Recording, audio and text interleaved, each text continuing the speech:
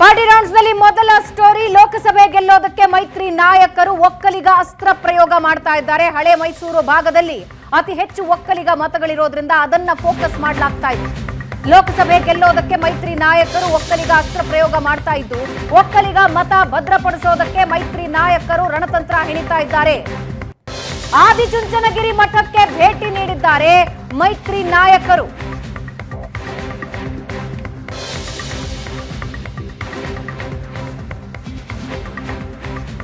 ಆದಿಚುಂಚನಗಿರಿ ಶ್ರೀ ಭೇಟಿಯಾಗಿ ಆಶೀರ್ವಾದ ಪಡೆದಿದೆ ಮೈತ್ರಿ ಪಡೆ. ಕಾಂಗ್ರೆಸ್ ವಿರುದ್ಧ ದೋಸ್ತಿ ನಾಯಕರ ಒಕ್ಕಲಿಗ ರಣತಂತ್ರ. ಹಳೆ ಮೈಸೂರು ಭಾಗದಲ್ಲಿ ಒಕ್ಕಲಿಗ ಮತಗಳೇ ನಿರ್ಣಾಯಕ. ಮಂಡ್ಯ, ಮೈಸೂರು, ಬೆಂಗಳೂರು ಉತ್ತರ, ಬೆಂಗಳೂರು ಗ್ರಾಮಾಂತರ. ಹಾಸನ ಸೇರಿ ಹಲವು ಕಡೆ ಒಕ್ಕಲಿಗ ಮತಗಳು ನಿರ್ಣಾಯಕ.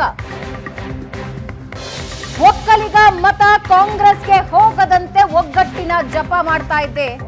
ಬಿಜೆಪಿ ಮತ್ತು ಜೆಡಿಎಸ್. ವಿಧಾನಸಭೆ ಎಲೆಕ್ಷನ್ ನೆನಪಿಸಿಕೊಳ್ಳೋದಾದ್ರೆ ಡಿಕೆಶಿ ಪರವಾಗಿ ಒಕ್ಕಲಿಗರು ನಿಂತಿದ್ರು. ಎಸ್ ಎಂ ಕೃಷ್ಣ ಆದ್ಮೇಲೆ ಸಿಎಂ ಆಗೋ ಅವಕಾಶ ಇದೆ. ಒಂದು ಅವಕಾಶ ನನಗೆ ಕೊಡಿ ಅಂತ. ಡಿ ಕೆ ಶಿವಕುಮಾರ್ ಎಲ್ಲಿ ಹೋದ್ರು, ಯಾವ ಸಭೆ ಸಮಾವೇಶಕ್ಕೆ ಹೋದ್ರು ಈ ಮಾತನ್ನ ನಿರಂತರವಾಗಿ ಹೇಳಿದ್ರು. ಎರಡ್ ಸಾವಿರದ ಇಪ್ಪತ್ತ ಮೂರರ ರಿಸಲ್ಟ್ ಡಿಕೆಶಿ ಪರವಾಗಿ ಬಂದಿತ್ತು.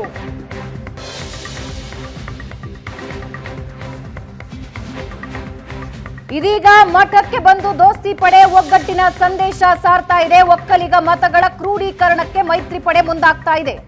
ಶ್ರೀಗಳನ್ನ ಭೇಟಿ ಮಾಡೋ ಮೂಲಕ ಸಮುದಾಯಕ್ಕೆ ಒಂದು ಸಂದೇಶ ಸ್ಪಷ್ಟವಾಗಿ ಬಿಜೆಪಿ ಮತ್ತು ಜೆಡಿಎಸ್ ಕೊಡ್ತಾ ಇದೆ. ಕಳೆದ ವಾರ ಆದಿಚುಂಚನಗಿರಿ ಶ್ರೀಗಳನ್ನ ಕಾಂಗ್ರೆಸ್ ಅಭ್ಯರ್ಥಿಗಳು ಭೇಟಿಯಾಗಿದ್ರು. ಒಕ್ಕಲಿಗ ಕಾಂಗ್ರೆಸ್ ಅಭ್ಯರ್ಥಿಗಳು ಶ್ರೀಗಳ ಭೇಟಿಯಾಗಿ ಆಶೀರ್ವಾದ ಪಡ್ಕೊಂಡಿದ್ರು.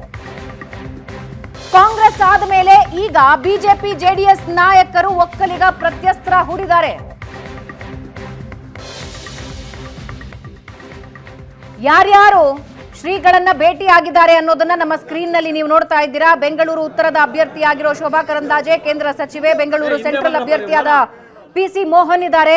ಬೆಂಗಳೂರು ಗ್ರಾಮಾಂತರ ಅಭ್ಯರ್ಥಿ ಡಾಕ್ಟರ್ ಮಂಜುನಾಥ್ ಇದ್ದಾರೆ. ಬೆಂಗಳೂರು ದಕ್ಷಿಣ ಅಭ್ಯರ್ಥಿ ತೇಜಸ್ವಿ ಸೂರ್ಯ ಮಂಡ್ಯ ಅಭ್ಯರ್ಥಿ ಕುಮಾರಸ್ವಾಮಿ ತುಮಕೂರು ಅಭ್ಯರ್ಥಿ ಸೋಮಣ್ಣ ಮೈಸೂರು ಅಭ್ಯರ್ಥಿ ಯದುವೀರ್ ಒಡೆಯರ್ ಚಿಕ್ಕಬಳ್ಳಾಪುರ ಅಭ್ಯರ್ಥಿ ಡಾಕ್ಟರ್ ಸುಧಾಕರ್ ಕೋಲಾರದ ಅಭ್ಯರ್ಥಿ ಮಲ್ಲೇಶ್ ಬಾಬು ಎಲ್ಲ ಕ್ಷೇತ್ರಗಳು ಯಾವ ಯಾವ ಕ್ಷೇತ್ರದ ಅಭ್ಯರ್ಥಿಗಳು ಭಾಗಿಯಾಗಿದ್ದಾರೋ ಆ ಎಲ್ಲ ಕ್ಷೇತ್ರಗಳಲ್ಲೂ ಒಕ್ಕಲಿಗ ಮತಗಳು ನಿರ್ಣಾಯಕ ಪಾತ್ರ ವಹಿಸುತ್ತವೆ.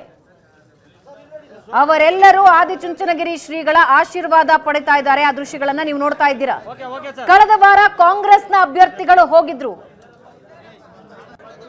ಎಲೆಕ್ಷನ್ನ ಸಮಯದಲ್ಲಿ ಸಮುದಾಯದ ಮಠಗಳಿಗೆ ಭೇಟಿ ನೀಡೋದರ ಮೂಲಕ ಸಮುದಾಯದ ಜೊತೆಗೆ ನಾವಿದ್ದೀವಿ ಅನ್ನೋ ಸಂದೇಶನ ಮತದಾರರಿಗೆ ರಾಜಕಾರಣಿಗಳು ಸ್ಪಷ್ಟವಾಗಿ ಕಳಿಸೋ ಪ್ರಯತ್ನ ಮಾಡ್ತಾರೆ. ಇದರ ಭಾಗವಾಗಿ ಕಳೆದ ಬಾರಿ ಕಾಂಗ್ರೆಸ್ ಅಭ್ಯರ್ಥಿಗಳು ಭೇಟಿ ಕೊಟ್ಟಿದ್ರು, ಶ್ರೀಗಳ ಆಶೀರ್ವಾದ ಪಡ್ಕೊಂಡಿದ್ರು. ಈಗ ಬಿಜೆಪಿ ಮತ್ತು ಜೆಡಿಎಸ್ ಮೈತ್ರಿ ಅಭ್ಯರ್ಥಿಗಳು ಭೇಟಿಯಾಗಿದ್ದಾರೆ. ಶ್ರೀಗಳ ಆಶೀರ್ವಾದ ಪಡಿತಾ ಇದ್ದಾರೆ. ಆ ದೃಶ್ಯ ನೀವು ನೋಡ್ತಾ ಇದ್ದೀರಾ? ವಿ ಸೋಮಣ್ಣ ಅವರು. Doctor Manjunath, Shobha Karandlaje. Tejasvi Surya Kumaraswamy Yaduveer Wadiyar doctor Sudhakar P C Mohan.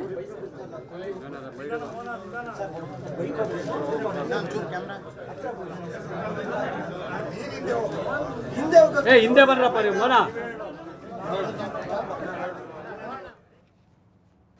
S, ಹಾಗಾದ್ರೆ ಒಕ್ಕಲಿಗ ಮತಗಳು ಎಲ್ಲೆಲ್ಲಿ ನಿರ್ಣಾಯಕ ಅನ್ನೋದನ್ನ ನಮ್ಮ ಸ್ಕ್ರೀನ್ನಲ್ಲಿ ನೀವು ನೋಡ್ತಾ ಇದ್ದೀರಾ? ಬೆಂಗಳೂರು ಉತ್ತರ. ಬೆಂಗಳೂರು ಉತ್ತರದಲ್ಲಿ ಸಾಮಾನ್ಯವಾಗಿ ಒಕ್ಕಲಿಗರಿಗೆ ಟಿಕೆಟ್ ಅನ್ನ ನೀಡಲಾಗುತ್ತೆ. ಯಾಕಂದ್ರೆ ಒಕ್ಕಲಿಗರ ಪ್ರಾಬಲ್ಯ ಜಾಸ್ತಿ ಇದೆ.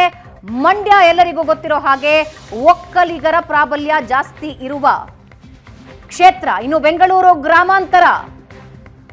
ಡಾಕ್ಟರ್ ಮಂಜುನಾಥ್ ಮತ್ತು ಡಿ ಕೆ ಸುರೇಶ್ ನಡುವಿನ ಫೈಟ್ಗೆ ಕಾರಣವಾಗಿರೋ ಕ್ಷೇತ್ರ. ಇನ್ನು ಮತ್ತೊಂದು ಕಡೆ ಮೈಸೂರು. ಮೈಸೂರಿನಲ್ಲಿ ಒಕ್ಕಲಿಗರು ನಿರ್ಣಾಯಕ ಪಾತ್ರ ವಹಿಸ್ತಾರೆ.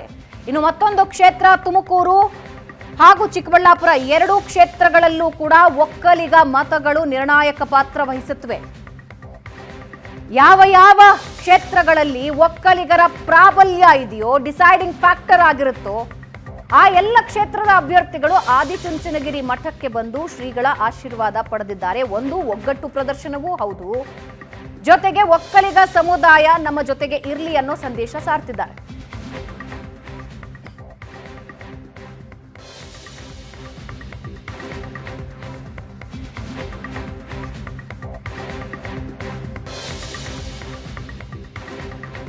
ಹಾಗಾದ್ರೆ ಜಾತಿ ಲೆಕ್ಕಾಚಾರ ಹೆಂಗ್ ವರ್ಕ್ ಆಗಿದೆ? ಯಾವ ಯಾವ ಪಕ್ಷಗಳಲ್ಲಿ ಒಕ್ಕಲಿಗ ನಾಯಕರು ಎಷ್ಟು ಜನರಿಗೆ ಸೀಟ್ಗಳನ್ನ ನೀಡಲಾಗ ಟಿಕೆಟ್ಗಳನ್ನು ನೀಡಲಾಗಿದೆ ಅನ್ನೋದನ್ನ ನಮ್ಮ ಸ್ಕ್ರೀನ್ನಲ್ಲಿ ನೋಡ್ತಾ ಇದ್ದೀರಾ. ಅತಿ ಹೆಚ್ಚು ಕಾಂಗ್ರೆಸ್ನಿಂದ ಆರು ಜನ ಅಭ್ಯರ್ಥಿಗಳಿಗೆ, ಒಕ್ಕಲಿಗ ಅಭ್ಯರ್ಥಿಗಳಿಗೆ ಟಿಕೆಟ್ ಕೊಟ್ಟಿದ್ದಾರೆ. ಬಿಜೆಪಿಯ ಮೂರು, ಜೆಡಿಎಸ್ನ ಎರಡು. ಒಟ್ಟು ಇಪ್ಪತ್ತೆಂಟು ಕ್ಷೇತ್ರಗಳಲ್ಲಿ ಹನ್ನೊಂದು ಒಕ್ಕಲಿಗ ಅಭ್ಯರ್ಥಿಗಳು ಸ್ಪರ್ಧಿಸ್ತಾ ಇದ್ದಾರೆ. ಅದರಲ್ಲಿ ಕಾಂಗ್ರೆಸ್ ಆರು, ಮೈತ್ರಿ ಪಕ್ಷಗಳಿಂದ ಐದು ಅಭ್ಯರ್ಥಿಗಳು ಅಖಾಡದಲ್ಲಿದ್ದಾರೆ.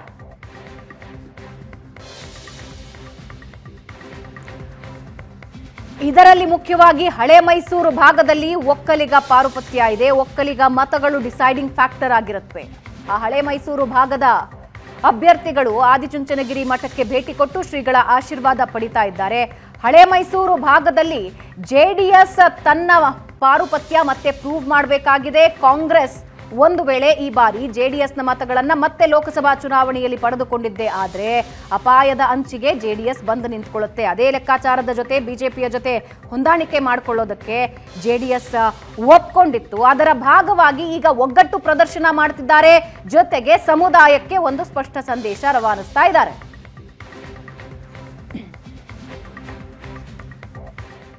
ಇನ್ನು ಕಳೆದ ಬಾರಿ ಕಾಂಗ್ರೆಸ್ ಅಭ್ಯರ್ಥಿಗಳು ಹೋಗಿ ಮಠಕ್ಕೆ ಭೇಟಿ ಕೊಟ್ಟು ಶ್ರೀಗಳ ಆಶೀರ್ವಾದ ಪಡೆದ್ರು. ಈ ಬಾರಿ ಮೈತ್ರಿ ಪಕ್ಷಗಳ ಅಭ್ಯರ್ಥಿಗಳು ಹೋಗಿದ್ದಾರೆ. ಇದರ ಹಿನ್ನೆಲೆಯಲ್ಲಿಯೇ ಆದಿಚುಂಚನಗಿರಿ ಮಠಕ್ಕೆ ಮೈತ್ರಿ ಪಡೆ ಭೇಟಿ ನೀಡ್ತಾ ಇದ್ದ ಹಾಗೆ ಡಿಕೆಶಿ ಸಿಡಿಮಿಡಿಯಾಗಿದ್ದಾರೆ.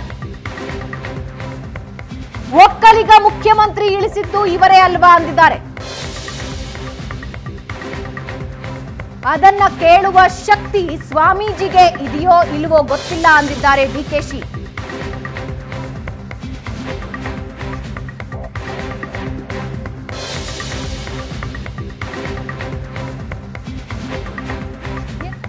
ಶ್ರೀಗೆ ಪರೋಕ್ಷ ಟಾಂಗ್ ಕೊಟ್ಟಿದ್ದಾರೆ ಡಿಸಿಎಂ ಇದರ ಜೊತೆಗೆ ಒಕ್ಕಲಿಗರು ದಡ್ರಲ್ಲ, ಒಕ್ಕಲಿಗ ಸ್ವಾಮೀಜಿಗಳು ದಡ್ರಲ್ಲ. ಸ್ವಾಮೀಜಿ ನಮ್ಮ ಪರವೂ ಇಲ್ಲ, ಅವರ ಪರವೂ ಇಲ್ಲ ಅಂತ ಡಿಕೆಶಿ ಹೇಳಿದ್ದಾರೆ. ಡಿಕೆಶಿ ಹೇಳಿಕೆಗೆ ಮಾಜಿ ಸಿಎಂ ಕುಮಾರಸ್ವಾಮಿ ತಿರುಗೇಟ್ ಕೊಟ್ಟಿದ್ದಾರೆ. ಒಕ್ಕಲಿಗ ಸ್ವಾಮೀಜಿಯನ್ನ ದುರುಪಯೋಗ ಪಡಿಸ್ಕೊಂಡಿಲ್ಲ. ನನ್ನ ಇಳಿಸೋದಕ್ಕೆ ಸಿದ್ದೂವನದಲ್ಲಿ ಔಷಧಿ ಅರೆದಿದ್ರಲ್ಲ ಹೀಗಂತ ಹೆಚ್ ಡಿ ಕೆ ತಿರುಗೇಟ್ ಕೊಟ್ಟಿದ್ದಾರೆ. ಹಾಗಾದ್ರೆ ಡಿಕೆಶಿ ಹೇಳಿದ್ದೇನು? ಅದಕ್ಕೆ ಕುಮಾರಸ್ವಾಮಿ ಯಾವ ರೀತಿ ತಿರುಗೇಟ್ ಕೊಟ್ರು ನೋಡಿ. ಈಗ ಯಾರು ಇಳಿಸಿದ್ರು ಕುಮಾರಸ್ವಾಮಿ? ಕುಮಾರಸ್ವಾಮಿಗೆ ಒಕ್ಕಲಿಗರು ಚೀಫ್ ಮಿನಿಸ್ಟ್ರು ಅಂತ ನಾವು ಕೆಲವೆಲ್ಲ ಮಾತಾಡಿದ್ರು ಇಳಿಸ್ತವ್ರು ಅವರು. ಕೊನೆ ಕಾಂಗ್ರೆಸ್ ಅವರು ಇಳಿಸಿದ್ರು ಅಂತ ಸಿದ್ದರಾಮಯ್ಯನವ್ರ ಮೇಲೆ ಗುಬ್ಬೆ ಕುಂಡ್ರಿಸ್ಬಿಟ್ರು. ಈಗ ನನ್ನ ಮೇಲೆ ಆರೋಪ ಮಾಡೋದೇ ಜನ ಒಪ್ಪಲ್ಲ. ಜನಕ್ಕೆ, ನಮ್ಮ ಸಮಾಜಕ್ಕೆ ಅವ್ರಿಗೆಲ್ಲ ಏನು ಯಾರು ದಡ್ರೇನಲ್ಲ. ಅವ್ರಿಗೆಲ್ಲ ಗೊತ್ತಿದೆ. ಒಕ್ಕಲಿಗರು ದಡ್ರಲ್ಲ. ಒಕ್ಕಲಿಗರ ಸ್ವಾಮಿಗಳು ದಡ್ರಲ್ಲ. ಸ್ವಾಮೀಜಿ ಅವ್ರನ್ನ ಕೇಳಲಿ ಅಂತೇಳಿ ನಮಗೆ ಪ್ರಶ್ನೆ ಮಾಡೋರಲ್ಲ, ಮಾನ್ ನಾಯಕರು ಅವ್ರ ಜೊತೆ ಯಾರು ಕಾಂಗ್ರೆಸ್ ಇನ್ನೊಬ್ಬರು ಪ್ರತಿನಿತ್ಯ ಸಂಘರ್ಷ ನಡೀತಲ್ಲ. ಯಾಕೆ ನಡೀತು ಸಂಘರ್ಷ? ಯಾರಿಗೋಸ್ಕರ ಸಂಘರ್ಷ ನಡೀತಾವತ್ತು ಆ ಸತ್ಯ ಹೇಳಬೇಕಲ್ಲ ಜನಕ್ಕೆ? ಪಾರ್ಲಿಮೆಂಟವ್ರಿಗೆ ಅಷ್ಟೇ ಸರ್ಕಾರ? ಅದಕ್ಕೆಲ್ಲ ಸರ್ಕಾರ ಇರೋದಿಲ್ಲ ಅಂತ ಹೇಳಿ ಸಿದ್ಧವನದಲ್ಲಿ ಸರ್ಕಾರ ರಚನೆ ಮಾಡೋದು ಮೂರೇ ತಿಂಗಳಿಗೆ ಹೇಳಲಿಲ್ವಾ ಉತ್ತರ ಅವರೇ ಕೊಟ್ಕೊಂಡವ್ರಲ್ಲ ನಿಮ್ಮ ಮುಖ್ಯಮಂತ್ರಿ.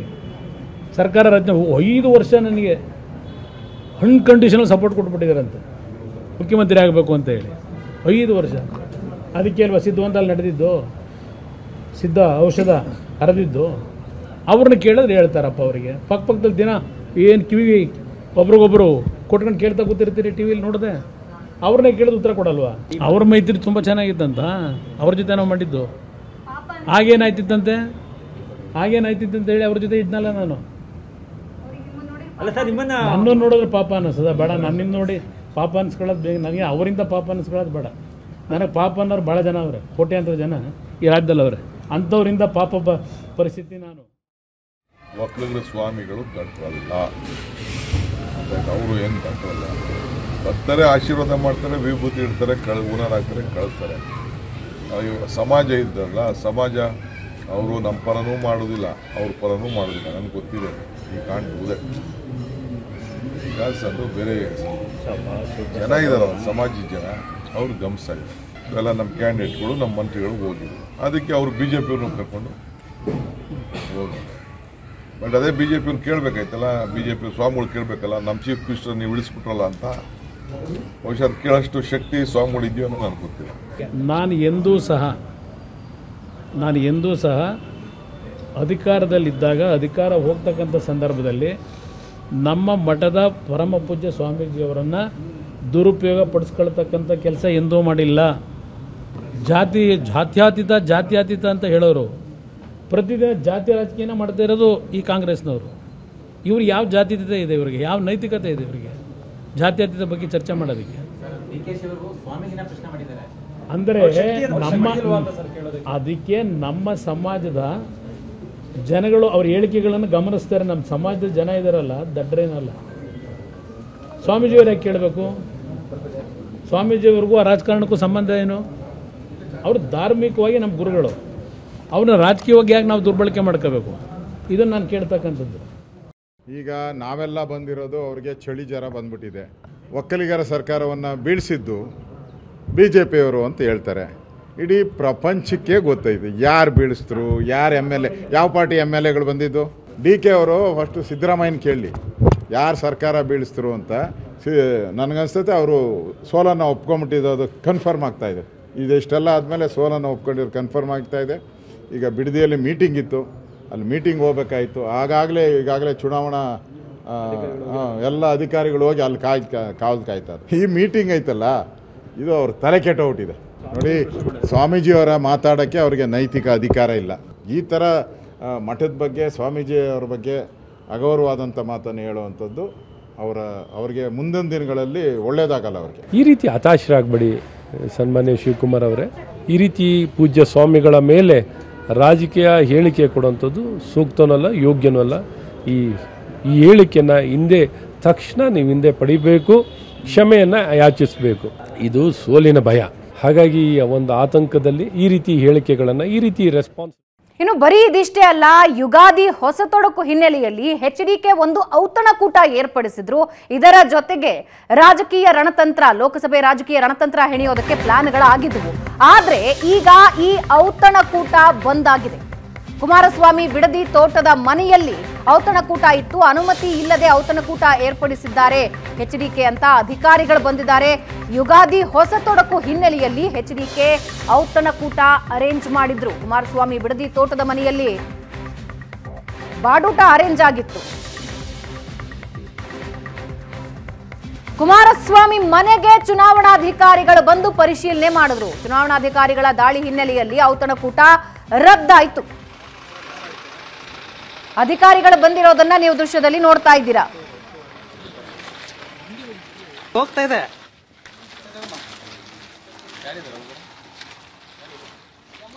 ಸೊ ಈ ವಿಷಯದಲ್ಲೂ ಕೂಡ ವಾಗ್ವಾದ ನಡೀತು. ವಾದ ಪ್ರತಿವಾದ ದಾಳಿ ಪ್ರತಿದಾಳಿ ನಡೀತು. ಯಾರ್ಯಾರು ಏನೇನು ಹೇಳಿದ್ರು ಕೇಳಿಸ್ಕೊಳ್ಳಿ.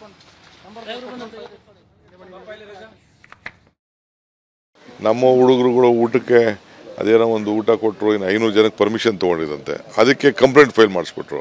ಈಗ ಅವ್ರು ಊಟ ಕೊಡೋದಕ್ಕೆ ನನಗೆ ಬಂದು ನೀವು ಯಾರೋ ಟಿ ವಿಯಲ್ಲಿ ಕೇಳ್ತಾ ಇದ್ದೀರಾ? ಏನು ಅವ್ರೇನೋ ಬಾಡೂಟ? ಬಾಡೂಟ ಅನ್ನಾರ ಮಾಡ್ಕೊಳ್ಳಿ, ಯಾವ ಊಟಾರ ಹಾಕೊಳ್ಳಿ ನಾನು ಹಾಕಿದೆ ಏನಂತ, ಯಾರೋ ತಹಶೀಲ್ದಾರ್ಗೋ ತಹಶೀಲ್ದಾರ್ಗೋ ಯಾರಿಗೋ ಎರಡೆರಡು ನಿಮಿಷಕ್ಕೂ ಫೋನ್ ಮಾಡಿ ಸರ್ಕಾರದ ದುರುಪಯೋಗ ಪಡಿಸ್ಕೊಂಡು ಮಾಡ್ತಾ ಇದ್ರಲ್ಲಿ ಏನೂ ಸಿಗೋದಿಲ್ಲ ಅಲ್ಲಿ ನಿಮಗೆ. ಏನಲ್ಲಿ ಇದೆಯಾ? ಹೋಗಿದ್ದಲ್ಲ, ನೀವೆಲ್ಲ ಹೋಗಿದ್ದಲ್ಲ ಇದೆಯಾ ಅಲ್ಲಿ? ಗ್ಲಾಸ್ ಜೋಡಿಸಿಟ್ಟಿದ್ರಾ ಇಲ್ಲ ಏನಾದರೂ ಗ್ಲಾಸ್ ಇಟ್ಟಿರೋದು ನೋಡಿದ್ರಾ ಅಲ್ಲಿ? ಅದು ಅವ್ರ ಸಂಸ್ಕೃತಿ ಅದು. ಅಲ್ಲಿ ಕೆಲಸಗಾರರಿಗೆ ಇವತ್ತು ಊಟದ ವ್ಯವಸ್ಥೆ, ವರ್ಷದ ಹುಡುಕು ಅವ್ರಿಗೆ ಮಾಡ್ತಾ ಇದ್ದಾರೆ. ನನ್ನ ಪಕ್ಷದ ಕಾರ್ಯಕರ್ತರಿಗೆ, ಅದು ಶಕ್ತಿ ಕೇಂದ್ರವೇ, ನನ್ನ ಪಕ್ಷದ ಕಾರ್ಯಕರ್ತರಿಗೆ. ನನ್ನ ತೋಟದಲ್ಲಿ ನೂರು ನೂರಿಪ್ಪತ್ತು ಜನ ಕೆಲಸಗಾರರು ಈಗಲೂ ಕೆಲಸ ಮಾಡ್ತಾ ಇದ್ದಾರೆ ಅಲ್ಲಿ. ಅಲ್ಲಿ ಕೆಲಸಗಾರರಿಗೆ ಇವತ್ತು ಊಟದ ವ್ಯವಸ್ಥೆ, ವರ್ಷದ ಹುಡುಕು ಅವ್ರಿಗೆ ಮಾಡ್ತಾ ಇದ್ದಾರೆ. ನನ್ನ ಪಕ್ಷದ ಕಾರ್ಯಕರ್ತರಿಗೆ ಅದು ಕೇಶವ ಕೃಪಾ ಇದ್ದಾಗೇನೆ ಅದು. ನನ್ನ ಪಕ್ಷದ ಕಾರ್ಯಕರ್ತರಿಗೆ. ಅದು ಶಕ್ತಿ ಕೇಂದ್ರವೇ ನನ್ನ ಪಕ್ಷದ ಕಾರ್ಯಕರ್ತರಿಗೆ. ಏನು ಕಾಂಗ್ರೆಸ್ ಆಫೀಸಲ್ಲಿ ಶಕ್ತಿ ಕೇಂದ್ರ ಮಾಡ್ಕೊಳ್ಳ ನಾನು? ಏರ್ ಆಫೀಸ್ ಮಾಡ್ಕೊಳ್ಳೋಕ್ಕಾಗತ್ತಾ ಆಮೇಲೆ ಅದು ಎಂಥದ್ದು ಟ್ವೀಟ್ ಮಾಡೋರಲ್ಲ. ನಾನು ರಸ್ತೆಯಲ್ಲಿ ತೂರಾಡಲಿಲ್ಲ. ಮೇಕೆದಾಟ ಹೆಸರಿನಲ್ಲಿ ನೀವೇ ತೋರಿಸ್ತಾ ಇದ್ರಲ್ಲ. ಪಾದಯಾತ್ರೆ ಮಾಡಬೇಕಾದ್ರೆ ರಾತ್ರಿ ತೂರಾಡಿದ್ದು ನಾನು ತೂರಾಡಿದ್ನ ತೂರಾಡಿದ್ದು ಯಾರಪ್ಪ? ನೀವೇ ತೋರಿಸ್ತಾ ಇರ್ತಿರಲ್ಲ. ಏನು ನಾನು ಕುಡಿತೂರಾಡಿದ್ನ? ಅಲ್ಲಪ್ಪ ನಾನು ಕುಡಿತೂರಾಡಿದ್ನ? ನಾನು ಮೇಕೆದಾಟ್ ಪಾದಯಾತ್ರೆ ಮಾಡಿದ್ದೀನಿ. ಸುಸ್ತಾಗಿದ್ದೀನಿ ನಡೆದಿದ್ದೀನಿ. ಆ ಇನ್ನ ಇದನ್ನ ಅಲ್ಲಿ ಘಾಟ್ ಸೆಕ್ಷನ್ ಇದೆಯಲ್ಲ ಅದು ನಡೆದಿದ್ದರೆ ಕುಮಾರಸ್ವಾಮಿಗೆ ಗೊತ್ತಿತ್ತು. ನಾನು ಈ ಕನ್ನಡ ನಾಡಿಗೋಸ್ಕರ ಕರ್ನಾಟಕ ರಾಜ್ಯಕ್ಕೋಸ್ಕರ ಕಾವೇರಿ ಜಲಾನಯ ಪ್ರದೇಶಕ್ಕೋಸ್ಕರ ಆ ಮೇಕೆದಾಟ್ ಪಾದಯಾತ್ರೆನ ಮಾಡಿದೆ. ನೋಡ್ರಿ ಅವ್ರು ಏನಾರು ನನ್ನ ಬಗ್ಗೆ ಹೇಳ್ಕೊಳ್ಳಿ. ಜನ ಯಾರು ದಟ್ಟರಲ್ಲ ನಾನು ತೂರಾಡ್ತೀನೋ ನಾನು ನಡೀತೀನೋ ಇನ್ನೇನು ಮಾಡಿ ಯಾತ್ರೆ ಅಂತೂ ಮಾಡಿದೆ ತಾನೆ. ಎಸ್ ಈ ಬಗ್ಗೆ ಇನ್ನಷ್ಟು ಡೀಟೇಲ್ಸ್ ಅನ್ನ ಹಂಚ್ಕೊಳ್ಳೋದಕ್ಕೆ ನಮ್ಮ ಪ್ರತಿನಿಧಿ ರವಿ ಶಿವರಾಮ್ ನಮ್ಮ ಜೊತೆ ಲೈವ್ನಲ್ಲಿ ಜಾಯ್ನ್ ಆಗ್ತಾ ಇದ್ದಾರೆ. ನಮ್ಮ ರಾಜಕೀಯ ವಿಶ್ಲೇಷಕರಾದ ಪ್ರಶಾಂತ್ ನಾಥು ನಮ್ಮೊಂದಿಗೆ ಲೈವ್ನಲ್ಲಿ ಜಾಯ್ನ್ ಆಗ್ತಿದ್ದಾರೆ. ರವಿ ಶಿವರಾಮ್, ಹೊಸ ತೊಡಕಿನ ದಿನ, ಬಹಳಷ್ಟು ಹೊಸ ಹೊಸ ರಾಜಕೀಯ ವಾದ, ಪ್ರತಿವಾದಗಳನ್ನು ನೋಡೋದಕ್ಕೆ ಸಿಗ್ತಾ ಇದೆ. ಆ್ಯಂಡ್ ಅದನ್ನ ಹೆಂಗೆ ಹೆಂಗೆ ನಿಲ್ಲಿಸ್ಬೋದು, ಏನೇನು ಕೇಸ್ಗಳನ್ನು ಹಾಕ್ಬೋದು ಅನ್ನೋದನ್ನು ನಾವು ನೋಡ್ತಾ ಇದ್ದೀವಿ. ಫಸ್ಟ್ ಬರೋಣ ಆದಿಚುಂಚನಗಿರಿಯಿಂದ ಬರೋಣ. ಆದಿಚುಂಚನಗಿರಿಗೆ ಅಭ್ಯರ್ಥಿಗಳ ಭೇಟಿ ಕೊಡ್ತಾ ಇದ್ದಾಗ. ಈ ಸಿಡಿಮಿಡಿ ಆಗಿದ್ಯಾಕೆ? ಡಿ ಕೆ ಶಿವಕುಮಾರ್ ಅವರು ಹಿಂಗೆ ಹೇಳಿಕೆಗಳನ್ನು ಕೊಟ್ಟಿದ್ಯಾಕೆ? ಒಕ್ಕಲಿಗ ಸಿ ಎಮ್ನ ಕೆಳಗಿಳಿಸಿದ್ದನ್ನ ಕೇಳೋ ಧೈರ್ಯ ಇದೆಯಾ ಶ್ರೀಗಳಿಗೆ ಅಂತ ನೇರವಾಗಿ ವಾಗ್ದಾಳಿ ಮಾಡಿಸ್ಬಿಟ್ರು. ಯಾಕೆ ಯಾಕೆ ಇಷ್ಟೊಂದು ಟೆನ್ಷನ್ ಆದರು?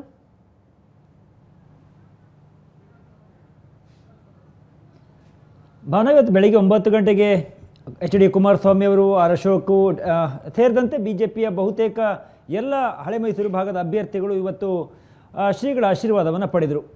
ಪ್ರಮುಖವಾಗಿ ಆ ಚುನಾವಣೆ ಸಂದರ್ಭ ಇರಬಹುದು ಅಥವಾ ಯಾವುದಾದ್ರೂ ರಾಜಕೀಯ ಕಾರ್ಯಕ್ರಮಗಳ ಪೂರ್ವ ತೆಗೆದುಕೊಳ್ಳುವಂಥ ಪ್ರಮುಖ ನಿರ್ಧಾರಗಳ ಸಂದರ್ಭದಲ್ಲಿರ್ಬೋದು ಹೀಗೆ ಮಠಮಾನಗಳಿಗೆ ರಾಜಕಾರಣಿಗಳು ಅಥವಾ ರಾಜಕೀಯ ಪಕ್ಷಗಳು ಹೋಗೋದೇನು ಹೊಸತೇನೂ ಅಲ್ಲ. ಆದರೆ ಚುನಾವಣೆಯ ಸಂದರ್ಭದಲ್ಲಿ ಹೋದಾಗ ಯಾರೆಲ್ಲ ಹೋಗಿದ್ರು ಆ ಹೋದಂಥ ಸಮಯ ಯಾವುದು ಎನ್ನುವುದು ಬಹಳ ಮುಖ್ಯವಾಗಿದೆ. ಹಳೆ ಮೈಸೂರು ಭಾಗದಲ್ಲಿ ಬಿ ಜೆ ಪಿ ಮತ್ತು ಜೆ ಡಿ ಎಸ್ ಒಕ್ಕಲಿಗ ಮತವನ್ನು ಹೇಗೆ ಕ್ರೋಢೀಕರಿಸಬೇಕು ಅನ್ನುವಂಥ ನಿರಂತರವಾದ ಪ್ರಯತ್ನಗಳಿದೆ. ಕಳೆದ ವಿಧಾನಸಭಾ ಚುನಾವಣೆಯಲ್ಲಿಯೂ ಕೂಡ ಬಿ ಜೆ ಪಿ ಒಂದಿಷ್ಟು ಮತಗಳಿಕೆಯನ್ನು ಜಾಸ್ತಿ ಮಾಡಿಕೊಂಡಿದ್ರು ಕೂಡ ಹಳೆ ಮೈಸೂರು ಭಾಗದಲ್ಲಿ ಬಿ ಜೆ ಪಿ ಸ್ವಂತ ಬಲದಿಂದ ಇನ್ನೂ ಕೂಡ ಯಾಕೆ ಹೆಚ್ಚಿನ ಸೀಟನ್ನು ಪಡೆದುಕೊಳ್ತಾ ಇಲ್ಲ ಅಂತ ಹೇಳಿದ್ರೆ ಅದರಲ್ಲಿ ಪ್ರಮುಖ ಕಾರಣ ಒಕ್ಕಲಿಗ ಮತಗಳು ಇನ್ನೂ ಕೂಡ ಬಿ ಜೆ ಪಿಯ ಜೊತೆಗಿಲ್ಲ. ಅದು ಕಾಂಗ್ರೆಸ್ ಮತ್ತು ಜೆ ಡಿ ಎಸ್ ಜೊತೆಗಿದೆ ಎನ್ನುವಂಥದ್ದು ವಾಸ್ತವಿಕ ಸತ್ಯ. ದೇವೇಗೌಡರು ಗಟ್ಟಿಯಾಗಿರುವಾಗಲೇ ಅವರ ಜೊತೆ ಒಂದು ಮೈತ್ರಿಯನ್ನು ಏರ್ಪಟ್ಟಿ, ಏರ್ಪಡಿಸಿಕೊಂಡು ಅವ್ರ ಜೊತೆ ಸಮ, ಒಂದು ಹೊಂದಾಣಿಕೆಯನ್ನು ಮಾಡಿಕೊಂಡು in the future B J P ಬಲಿಷ್ಠ ಆಗಬೇಕು ಹಳೆ ಮೈಸೂರು ಭಾಗದಲ್ಲಿ ಎನ್ನುವಂಥದ್ದು ರಾಜಕೀಯ ಬಿ ಜೆ ಪಿಯ ರಾಜಕೀಯ ಯೋಚನೆ. ಈ ಸಂದರ್ಭದಲ್ಲಿ ಈಗ ಲೋಕಸಭಾ ಚುನಾವಣೆಯನ್ನು ವೇದಿಕೆಯಾಗಿ ಪಡೆದಿರುವಂಥ ಎರಡು ಪಕ್ಷಗಳು ಕಳೆದ ಬಾರಿ ವಿಧಾನಸಭಾ ಚುನಾವಣೆಯಲ್ಲಿ ಆದಂಥ ಏನು ಹಿನ್ನಡೆ ಇದೆ. ಅದು ಒಕ್ಕಲಿಗ ಮತಗಳಿರಬಹುದು ಅಥವಾ ಹಳೆ ಮೈಸೂರು ಭಾಗದ ಜೆ ಡಿ ಎಸ್ನ ಮತಗಳು ಕಾಂಗ್ರೆಸ್ಗೆ ಯಾಕೆ ಶಿಫ್ಟ್ ಆಗಿದ್ವು, ಹೇಗೆ ಶಿಫ್ಟ್ ಆಗಿದ್ವು, ಅದು ವಿಧ ಲೋಕಸಭೆಯಲ್ಲಿ ಆಗಬಾರ್ದು ಎನ್ನುವ ಕಾರಣಕ್ಕೋಸ್ಕರ ಈ ಒಂದು ಮೈತ್ರಿಯನ್ನು ಕೂಡ ಮಾಡಿಕೊಂಡಿದ್ದಾರೆ. ಹೀಗಾಗಿ ಬಿ ಜೆ ಪಿಯ ಮತ್ತು ಜೆ ಡಿ ಎಸ್ನ ಪ್ರಮುಖ ನಾಯಕರು ಹಳೆ ಮೈಸೂರು ಭಾಗದ ಅಭ್ಯರ್ಥಿಗಳನ್ನು ಮತ್ತು ಅಲ್ಲಿ ಒಕ್ಕಲಿಗ ಪ್ರಮುಖ ನಾಯಕರುಗಳನ್ನು ಕರೆದುಕೊಂಡು ಹೋಗಿ ಮಠದಲ್ಲಿ ನಿಂತು ಸ್ವಾಮೀಜಿಗಳ ಜೊತೆ ಚರ್ಚೆ ಮಾಡಿದ್ದು, ಸಾಮಾನ್ಯವಾಗಿ ಮಾಧ್ಯಮಗಳ ಮುಂದೆ ಅವರು ಹೇಳುವಾಗ ಹೇಳ್ತಾರೆ, ಇದು ಅವರ ಆಶೀರ್ವಾದವನ್ನು ಪಡೆದಿವೆ ಅಂತ ಶ್ರೀಗಳು ಸಹಜವಾಗಿ ಆಶೀರ್ವಾದವನ್ನು ಮಾಡಿರ್ತಾರೆ, ಅದು ಬೇರೆ ವಿಚಾರ. ಆದರೆ, ಅದು ರಾಜಕೀಯವಾಗಿ ಎಷ್ಟು ಇಂಪ್ಯಾಕ್ಟನ್ನು ಮಾಡ್ತವೆ ಅನ್ನೋದು ಡಿ ಕೆ ಶಿವಕುಮಾರ್ ಕೊಟ್ಟ ಹೇಳಿಕೆಯನ್ನು ನೋಡಿದರೆ ಗಮನಿಸಬಹುದು. ಯಾಕೆಂದರೆ, ಡಿ ಕೆ ಶಿವಕುಮಾರ್ ಹೇಳಿದರು ಕುಮಾರಸ್ವಾಮಿ ಅವ್ರನ್ನ ಕೆಳಗಿಳಿಸಿದ್ದು ಬಿ ಜೆ ಪಿಯವರು ಬಿ ಜೆ ಪಿಯವರು ಬಳಿ ಆ ಪ್ರಶ್ನೆಯನ್ನು ಕೇಳೋದಕ್ಕೆ ಸ್ವಾಮೀಜಿಗಳ ಶಕ್ತಿ ಇದೆಯಾ ಅನ್ನುವಂಥ ಪ್ರಶ್ನೆಯನ್ನು ಕೇಳ್ತಾರೆ ಅಂತ ಹೇಳಿದ್ರೆ ಸಹಜವಾಗಿ ಜೆ ಡಿ ಎಸ್ ನಾಯಕರು ಬಿ ಜೆ ಪಿಯ ನಾಯಕರೆಲ್ಲರೂ ಇವತ್ತು ಮಠಕ್ಕೆ ಹೋಗಿ ಒಂದು ಸಂದೇಶವನ್ನು ಕೊಟ್ಟಿದ್ದು ರಾಜಕೀಯವಾಗಿ ಅದು ಏನೆಲ್ಲ ಪರಿಣಾಮ ಬೀರಬಹುದು ಎನ್ನುವಂಥದ್ದು ಡಿ ಕೆ ಶಿವಕುಮಾರ್ಗೆ ಮನವರಿಕೆಯಾಗಿದೆ. ಆ ಕಾರಣಕ್ಕಾಗಿಯೇ ಡಿ ಕೆ ಶಿವಕುಮಾರ್ ಅವರು ಇವತ್ತು ಅಷ್ಟೊಂದು ಟೆನ್ಷನ್ ಆದರೆ ಆದಂತೆ ಕಾಣ್ತಾ ಇದ್ದಾರೆ. ಮಾಡಿ ಶಕ್ತಿ ಇದೆಯಾ ಅಂತ ಕೇಳೋದಕ್ಕೆ ಏನು ಕಾರಣ? ಅಂದ್ರೆ ಓಕೆ ಇವಾಗ ರಾಜಕೀಯ ಮೇಲಾಟಗಳು ರಾಜಕೀಯ ವಾಗ್ಯುದ್ಧಗಳನ್ನು ನಾವು ನಿರೀಕ್ಷೆ ಮಾಡಬಹುದು. ಒಬ್ಬ ನಾಯಕ ಇನ್ನೊಬ್ಬ ನಾಯಕನ ವಿರುದ್ಧ. ಏ ಸ್ವಾಮೀಜಿಗಳನ್ನು ನೇರವಾಗಿ ಟಾರ್ಗೆಟ್ ಮಾಡಿದ್ದಕ್ಕೆ ಏನು ಕಾರಣ? ಅಂಡ್ ಇಷ್ಟು ಕಳೆದ ವಾರ ಕಾಂಗ್ರೆಸ್ನವ್ರು ಹೋಗಿದ್ರು ಈ ವಾರ ಮೈತ್ರಿ ಪಕ್ಷದವ್ರು ಹೋಗ್ತಾ ಇದ್ದಾರೆ. ಮಠ ಎಲ್ರಿಗೂ ಸೇರಿದ್ದು ಹೋಗೇ ಹೋಗ್ತಾರೆ. ಬಟ್ ಹಿಂಗಿತ್ತೊಂದು ಹೇಳಿಕೆ ಡಿ ಕೆ ಶಿಂದಿ ಯಾಕೆ ಬಂತು? ಮುಖ್ಯವಾಗಿ ನನಗನ್ಸುತ್ತೆ ಟಾರ್ಗೆಟ್ ಮಾಡಿದ್ರು ಹೇಳೋದನ್ನ ಬಹುಶಃ ಹೇಳಿ ಹೇಳಿ ರವಿ ಹೇಳಿ. Ravi continue continue continue Prashanth continue ಮೌನ ಮುಖ್ಯವಾಗಿ ನನಗನ್ಸುತ್ತೆ ನೋಡಿ ಒಕ್ಕಲಿಗರ ವೋಟ್ಗಳನ್ನು ಈ ಬಾರಿಯ ಲೋಕಸಭಾ ಚುನಾವಣೆಯಲ್ಲಿ ಪಡೆದರೆ ಮಾತ್ರ ಡಿ ಕೆ ಶಿವಕುಮಾರರ ಒಂದು ನಾಯಕತ್ವ ಕಾಂಗ್ರೆಸ್ನಲ್ಲಿ ಅಬಾಧಿತವಾಗಿ ಮುಖ್ಯಮಂತ್ರಿ ಸ್ಥಾನದವರೆಗೆ ಅವರನ್ನು ಕರ್ಕೊಂಡು ಹೋಗುತ್ತೆ. ಒತ್ತಡದಲ್ಲಿದ್ದಾರಾ ಪ್ರಶಾಂತ್? ನೋಡಿ, ನಿಶ್ಚಿತವಾಗಿ ಈಗ ವಿಧಾನಸಭಾ ಚುನಾವಣೆಯ ಪರ್ಫಾರ್ಮೆನ್ಸನ್ನು ಲೋಕಸಭಾ ಚುನಾವಣೆಗೆ ರಿಪೀಟ್ ಮಾಡಬೇಕಾದ ಅನಿವಾರ್ಯತೆಯ ಒತ್ತಡದಲ್ಲಿ ಡಿ ಕೆ ಶಿವಕುಮಾರ್ ಕೂಡ ಇದ್ದಾರೆ. ಡಿ ಕೆ ಶಿವಕುಮಾರ್ಗೆ ಎರಡು ಸಾವಿರದ ಇಪ್ಪತ್ತ್ಮೂರರ ಚುನಾವಣೆಯಲ್ಲಿ ಜೆ ಡಿ ಎಸ್ನ ಐದು ಪರ್ಸೆಂಟ್ ವೋಟ್ಗಳು ಹೋದ ನಂತರ ಈ ಬಾರಿ ಕೂಡ ಒಕ್ಕಲಿಗರು ಡಿ ಕೆ ಶಿವಕುಮಾರ್ ಜೊತೆಗೆ ನಿಂತು ಹಳೆ ಮೈಸೂರು ಭಾಗದಲ್ಲಿ ನೀವು ಬೆಂಗಳೂರಿನ ಮೂರು ಬಿಟ್ಬಿಡಿ. ಉಳಿದ ಎಂಟು ಸೀಟ್ಗಳಲ್ಲಿ ಎಷ್ಟು ಕಾಂಗ್ರೆಸ್ ಗೆಲ್ಲುತ್ತೆ ಅಂತಕ್ಕಂಥದ್ದು ಡಿ ಕೆ ಶಿವಕುಮಾರ್ ಸಿ ವಿಯಲ್ಲಿ ಪ್ರತಿಫಲಿತ ಆಗತ್ತೆ. ನಾಳೆ ಮುಖ್ಯಮಂತ್ರಿ ಆಗಬೇಕಾ ಬೇಡವಾ ಅಂತಕ್ಕಂಥ ಪ್ರಶ್ನೆ ಬಂದಾಗ ಹಳೆ ಮೈಸೂರು ಭಾಗದ ಗೆಲುವು ಸೋಲು ಆ ನಿರ್ಧಾರದಲ್ಲಿ ನಿಶ್ಚಿತವಾಗಿ ಕೆಲಸವನ್ನು ಮಾಡುತ್ತೆ. ಒಂದು ವೇಳೆ ಒಂದು ವೇಳೆ ಇವತ್ತು ನೋಡಿ ಈಗ ಕುಮಾರಸ್ವಾಮಿ, ಸೋಮಣ್ಣನವರು, ಯದುವೀರ್ ಒಡೆಯರ್, ತೇಜಸ್ವಿ ಸೂರ್ಯ, ಶೋಭಾ ಕರಂದ್ಲಾಜೆ, ಚಾಮರಾಜನಗರದ ಕ್ಯಾಂಡಿಡೇಟು, ಮಂಜುನಾಥ್ ಅವರು ಪಿ ಸಿ ಮೋಹನ್ ಎಲ್ಲರೂ ಕೂಡ ಒಕ್ಕಲಿಗ ಈಗ ಆದಿಚುಂಚನಿ ಶ್ರೀಗಳನ್ನು ಭೇಟಿಯಾಗಲಿಕ್ಕೆ ಹೋಗಿದ್ರು. ನನಗೆ ಗೊತ್ತಿರುವ ಪ್ರಕಾರ ಆದಿಚುಂಚನಗಿರಿ ಶ್ರೀಗಳು ಎಲ್ಲೂ ಕೂಡ ಯಾವುದೇ ಪಕ್ಷದವರು ಅನ್ನುವ ರೀತಿಯಲ್ಲಿ ಕಾಣಿಸ್ಕೊಂಡಿಲ್ಲ. ಈಗ ರಾಷ್ಟ್ರೀಯ ಮಟ್ಟದಲ್ಲಿ ಯೋಗಿ ಆದಿತ್ಯನಾಥರ ಜೊತೆ ಕಾರ್ಯಕ್ರಮದಲ್ಲಿ, ಪ್ರಧಾನಮಂತ್ರಿ ನರೇಂದ್ರ ಮೋದಿ ಜೊತೆ ಕಾರ್ಯಕ್ರಮದಲ್ಲಿ ಭಾಗವಹಿಸಿರ್ತಕ್ಕಂಥದ್ದು ಬೇರೆ. ರಾಹುಲ್ ಗಾಂಧಿ ಕೂಡ ಆದಿಚುಂಚನ ಶ್ರೀಗಳನ್ನು ಭೇಟಿಯಾಗಿದ್ದಾರೆ. ಹೀಗಾಗಿ ಸ್ ಮಠವನ್ನು, ಸ್ವಾಮೀಜಿಯನ್ನು ಒಂದು ಪಕ್ಷದ ಚೌಕಟ್ಟಿನಲ್ಲಿ ಹಾಕ್ತಕ್ಕಂಥ ಪ್ರಯತ್ನ ಒಳ್ಳೆಯದು ಅಲ್ಲ, ಮತ್ತದು ಸರಿಯೂ ಕೂಡ ಅಲ್ಲ. ಆದರೆ ಇವತ್ತಿನ ಒಟ್ಟು ಆದಿಚುಂಚನಗಿರಿ ಶ್ರೀಗಳ ಭೇಟಿ, ಪ್ರಮುಖವಾಗಿ ಬಿ ಜೆ ಪಿ ಮತ್ತು ಜೆ ಡಿ ಎಸ್ನ ಮೈತ್ರಿಕೂಟ ಎಲ್ಲ ಅಭ್ಯರ್ಥಿಗಳು ನಾವು ಒಟ್ಟಾಗಿದ್ದೇವೆ, ಎಲ್ಲರೂ ಒಟ್ಟಾಗಿದ್ದೇವೆ ಅಂತಕ್ಕಂಥ ತೋರಿಸುವ ಪ್ರಯತ್ನ ಏನು ಚುಂಚನಗಿರಿ ಮಠದಲ್ಲಿ ನಡೀತು. ಅದು ಕಾಂಗ್ರೆಸ್ಗೆ ಒಂದು ರೀತಿಯಾಗಿರ್ತಕ್ಕಂಥ ಆತಂಕವನ್ನು ತರುವುದು ಸರ್ವೇ ಸಾಮಾನ್ಯ. ಯಾಕೆಂದರೆ ನೋಡಿ ಕಾಂಗ್ರೆಸ್ಗೆ ಇವತ್ತು ವೋಟ್ ಹಾಕ್ತಕ್ಕಂಥವ್ರು ಸಿದ್ದರಾಮಯ್ಯನವರ ಬಗ್ಗೆ ಒಕ್ಕಲಿಗರಿಗೆ ಒಂದು ರೀತಿಯಾಗಿರ್ತಕ್ಕಂಥ ಅಸಮಾಧಾನ ಮೊದಲಿಂದಲೂ ಕೂಡ ಇದೆ. ಒಕ್ಕಲಿಗರು ವೋಟ್ ಹಾಕಬೇಕಾದ್ರೆ ಡಿ ಕೆ ಶಿವಕುಮಾರ್ ಕಾರಣದಿಂದ ಹಾಕಬೇಕು. ಕುಮಾರಸ್ವಾಮಿ ಏನು ಹೇಳ್ತಿದ್ದಾರೆ ಅಂತಂದರೆ ಒಕ್ಕಲಿಗರಿಗೆ ಈ ಬಾರಿ ಹೇಳ್ತಿದ್ದಾರೆ, ಈ ಬಾರಿ ನೀವು ನಮ್ಮ ಕೈ ಹಿಡಿಯದೇ ಹೋದರೆ ಸಿದ್ದರಾಮಯ್ಯನವರು ಗಟ್ಟಿ ಆಗ್ತಾರೆ ಹ್ಮ್ ಡಿ ಕೆ ಶಿವಕುಮಾರ್ ಮೇಲೆ ನೇರವಾಗಿ ವಾಗ್ದಾಳಿಯನ್ನು ನಡೆಸಿದರೂ ಕೂಡ subtle message B J P ಮತ್ತು ಕುಮಾರಸ್ವಾಮಿ ಏನು ಕೊಡ್ತಾ ಇದ್ದಾರೆ ನೀವು ನಮಗೆ ಈ ಬಾರಿ ಓಟ್ ಹಾಕಲಿಲ್ಲ ನಮ್ಮ ಕೈ ಹಿಡಿಲಿಲ್ಲ ಅಂತಾದರೆ ಅಲ್ಲಿ ಸಿದ್ದರಾಮಯ್ಯನವರು ಗಟ್ಟಿ ಆಗ್ತಾರೆ ಮುಂದಿನ ರಾಜಕಾರಣ ಹೆಂಗಾಗುತ್ತೋ ಗೊತ್ತಿಲ್ಲ ಅಂತಕ್ಕಂಥದ್ದು. ಆ ದೃಷ್ಟಿಯಿಂದ ನನಗನ್ಸುತ್ತೆ it has rattled D K Shivakumar. ಯಾಕಂದರೆ ನೋಡಿ ಬೆಂಗಳೂರು ಗ್ರಾಮಾಂತರದಲ್ಲಿ ಡಿ ಕೆ ಶಿವಕುಮಾರನ್ನು ಕಟ್ಟಿ ಹಾಕ್ತಕ್ಕಂಥ ಪ್ರಯತ್ನವನ್ನು ಡಾಕ್ಟರ್ ಮಂಜುನಾಥ್ರನ್ನು ತರುವ ಮೂಲಕ ಮಾಡಲಾಯಿತು. ಜೊತೆಗೆ ಈ ಬಾರಿ ಹೇಗಾದರೂ ಮಾಡಿ ಬಿ ಜೆ ಪಿ ಮತ್ತು ಜೆ ಡಿ ಎಸ್ನ ಮತಬ್ಯಾಂಕ್ಗಳು ಒಟ್ಟಿಗೆ ಬಂದು ಎಂಟು ವಿ ಲೋಕಸಭಾ ಕ್ಷೇತ್ರಗಳೇನು ಹಳೆ ಮೈಸೂರು ಭಾಗದಲ್ಲಿವೆ ಅಲ್ಲಿ ಎಷ್ಟು ಗೆಲ್ತಾರೆ ಅಂತಕ್ಕಂಥದ್ದು ಡಿ ಕೆ ಶಿವಕುಮಾರ್ ರಾಜಕಾರಣದ ಮೇಲೆ ನೇರವಾಗಿರ್ತಕ್ಕಂಥ ಒಂದು ಪರಿಣಾಮವನ್ನು ಬೀರುತ್ತೆ.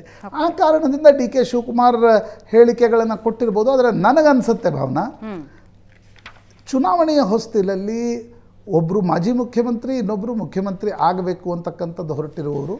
ಸಹಜವಾಗಿ ನೋಡಿ ರಾಜಕೀಯ ತೂತು ಮೇಮೆ ಆರೋಪ ಪ್ರತ್ಯಾರೋಪಗಳು ನಡೆಯೋದು ಸಹಜ.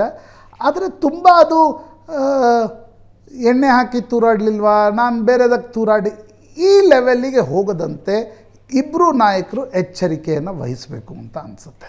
ಪ್ರಶಾಂತ್ ನಾಯಕರು ಯಾವ ರೀತಿ ನಡೆದುಕೊಳ್ತಾರೋ ಅದೇ ರೀತಿ ಅವರ ಹಿಂಬಾಲಕರು ನಡೆದುಕೊಳ್ತಾರೆ. ಇತ್ತೀಚಿನ ದಿನಗಳಲ್ಲಿ ಭಾಷೆಗಳ ಬಳಕೆ ಏನೇನು ಆಗ್ತಾ ಇದೆ ಅಂತ ನೋಡಿದ್ರೆ ಗೊತ್ತಾಗುತ್ತೆ ಯಾವ ರೀತಿಯ ಸಂದೇಶ ಚುನಾವಣೆಯ ಹೊಸ್ತಿಲಲ್ಲಿ ಭಾಷೆಗಳ ಬಳಕೆ ಸ್ವಲ್ಪ ಮಟ್ಟಿಗೆ ನಿಮ್ಮ ತೂಕ ತಪ್ಪುತ್ತೆ ಸ್ವಲ್ಪ ಮಟ್ಟಿಗೆ ಚುನಾವಣಾ ಸ್ಟ್ರೆಸ್ ಇರುತ್ತೆ ಎಲ್ಲವೂ ಓಕೆ. ಆದರೆ ತೀರಾ ಅದು ಭಾಳ ಕೆಳಮಟ್ಟಕ್ಕೆ ಹೋಗಿ ನಂತರ ರಿಪೇರಿ ಆಗಲಾರದ ರೀತಿಯಲ್ಲಿ ಆಗಬಾರ್ದು. ಇದೇನು ವೈಯಕ್ತಿಕ ಘರ್ಷಣೆ ಸಂಘರ್ಷ ಅಲ್ಲ. ಇದನ್ನು ಪೊಲಿಟಿಕಲ್ ಸಂಘರ್ಷ.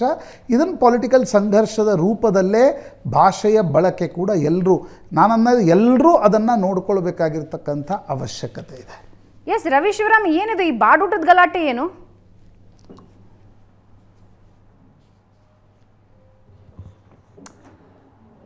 ಆರಂಭದಲ್ಲಿ ಬಿಜೆಪಿಯ ಕೆಲ ನಾಯಕರುಗಳು ಕೂಡ ಆ ಒಂದು ಊಟಕ್ಕೆ ಹೋಗ್ತಾರೆ ಎನ್ನುವಂತ ಮಾಹಿತಿಗಳಿದ್ವು.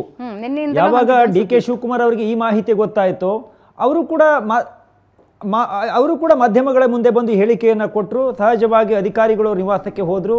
ಅಲ್ಲಿ ಐವತ್ತರವತ್ತು ಚೇರ್ಗಳನ್ನು ಹಾಕಿದ್ರು. ಹಾಗಾಗಿ ಇದಕ್ಕೆ ಪರ್ಮಿಷನ್ ಇಲ್ಲ ಎನ್ನುವ ಕಾರಣಕ್ಕೋಸ್ಕರ ಚುನಾವಣಾಧಿಕಾರಿಗಳು ಅದನ್ನು ಬಂದ್ ಕ್ಯಾನ್ಸಲ್ ಮಾಡುವಂತೆ ಸೂಚನೆಯನ್ನು ಕೊಟ್ಟರು ಆ್ಯಕ್ಚುಲಿ ಊಟವನ್ನು ಬಂದ್ ಮಾಡಿದ್ದಕ್ಕೆ ಕುಮಾರಸ್ವಾಮಿ ಅವರು ಮತ್ತಷ್ಟು ವ್ಯಾಘ್ರರಾದರು. ಆಗ ಅಧಿಕಾರಿಗಳು ಅವರ ನಿವಾಸಕ್ಕೆ ಹೋದಾಗ, ಬಿಡದಿ ಅವರ ನೀವು ತೋಟದ ಮನೆಗೆ ಹೋದಾಗ ಕುಮಾರಸ್ವಾಮಿ ಅವರು ಇನ್ನೂ ಮಠದಲ್ಲೇ ಇದ್ದರು ಮಠದಲ್ಲಿ ಕುಮಾರಸ್ವಾಮಿಯವರು ಸುಮಾರು ಬೆಳಗ್ಗೆ ಒಂಬತ್ತುವರೆ, ಹತ್ತು ಗಂಟೆಗೆ ಬಂದವರು, ಮಧ್ಯಾಹ್ನ ಹನ್ನೆರಡೂವರೆ, ಒಂದು ಗಂಟೆ ತನಕ ಇದ್ದರು ಈ ಎಲ್ಲ ಮ, ವಿದ್ಯಮಾನಗಳನ್ನು ಗಮನಿಸಿದ ಬಳಿಕ ಅವರು ಡಿ ಕೆ ಶಿವಕುಮಾರ್ ಅವರ ಮೇಲೆ ವಾಗ್ ವಾಗ್ದಾಳಿಯನ್ನು ನಡೆಸಿದ್ದು. ಇದು ಬಹಳ ಇಂಟ್ರೆಸ್ಟಿಂಗ್ ಏನಂದರೆ ಭಾವನಾ, ಯಾವಾಗ ಮಠಕ್ಕೆ ಬಿ ಜೆ ಪಿ ನಾಯಕರು, ಜೆ ಡಿ ಎಸ್ ನಾಯಕರುಗಳು ಹೋಗಿ ಕುಳಿತುಕೊಂಡು ಸ್ವಾಮೀಜಿ ಜೊತೆ ಮಾತನಾಡಿ ಆಶೀರ್ವಾದ ಪಡೆದರು, ಆಗ ಡಿ ಕೆ ಶಿವಕುಮಾರ್ ಅವರ ನಿವಾಸದ ಎದುರುಗಡೆ ಬಂದು ಮ ಸ್ವಾಮೀಜಿಯವರನ್ನ ಪ್ರಶ್ನೆ ಮಾಡಿದರು. ಆ, ಆ, ಏನು ಬಿ ಜೆ ಪಿಯನ್ನು ಪ್ರಶ್ನೆ ಮಾಡೋಕ್ಕಾಗತ್ತಾ ಸ್ವಾಮೀಜಿಗೆ ಹೇಳುವಂಥ ಶಕ್ತಿ ಇದೆ ಹೇಳುವಂಥ ಮಾತುಗಳನ್ನು ಹೇಳಿದರು. ಯಾವಾಗ ಅಧಿಕಾರಿಗಳು ಬಿಡದಿ ತೋಟಕ್ಕೆ ಹೋಗಿ ಅಲ್ಲಿ ಈ ಊಟವನ್ನು ಮಾಡಿಸಿದ್ದ ಆ, ಒಂದು ವ್ಯವಸ್ಥೆಯನ್ನು ಏನು ಕ್ಯಾನ್ಸಲ್ ಮಾಡಿದರು. ಆಗ ಡಿ ಕೆ ಶಿವಕುಮಾರ್ ಅವರಿಗೆ ಮತ್ತಷ್ಟು ಸಿಟ್ಟು ಬಂದು ಅವರು ಪ್ರಶಾಂತ್ ಈಗಾಗಲೇ ಹೇಳ್ತಾ ಇದ್ರು ವೈಯಕ್ತಿಕ ಮಟ್ಟದಲ್ಲಿ ದಾಳಿಗಳನ್ನು ಮಾಡ್ತಾ ಇದ್ರು. ಹೀಗಾಗಿ ಇದು ಚುನಾವಣೆ ಸಂದರ್ಭದಲ್ಲಿ ಸಹಜ ಆದರೆ ಇವತ್ತು ಇಡೀ ದಿನ ಒಂದು ಮಠಕ್ಕೆ ಹೋದಂಥ ಸುದ್ದಿ ಅಥವಾ ಮಠಕ್ಕೆ ಹೋದಂಥ ವಿಚಾರ ಎರಡೂ ಪಕ್ಷಗಳಲ್ಲಿ ಒಂದು ಬಿ ಜೆ ಪಿಗೆ ಹೌದು ನಾವು ಹೋಗಿ ಹೋಗಿದ್ದು ಅಲ್ಲಿ ಒಂದು ಸ್ಟ್ರಾಟಜಿ ರೂಪದಲ್ಲಿ ಜನಗಳಿಗೆ ಒಂದು ಮೆಸೇಜ್ ಹೋಯ್ತು ಹೇಳೋದನ್ನು ಬಹಿರಂಗವಾಗಿ ಡಾಕ್ಟರ್ ಅಶ್ವಥ್ ನಾರಾಯಣ್ ಮಾತಾಡಿದರು. ಏ ನಮ್ಮ ಸುವರ್ಣ ಜೊತೆ ಮಾತನಾಡುವಾಗ ಹೇಳಿದರು ನಾವು ಇಡೀ ಸಮುದಾಯ ಮೋದಿಯವ್ರ ಜೊತೆ ಇದೇ ಹೇಳೋದನ್ನು ನಾವು ಇಲ್ಲಿಂದ ನಿಂತು ಹೇಳ್ತೀವಿ ಹೇಳುವ ಮಾತುಗಳನ್ನು ಭಾಳ ಓಪನ್ ಆಗಿ ಹೇಳ್ತಾ ಇದ್ರು.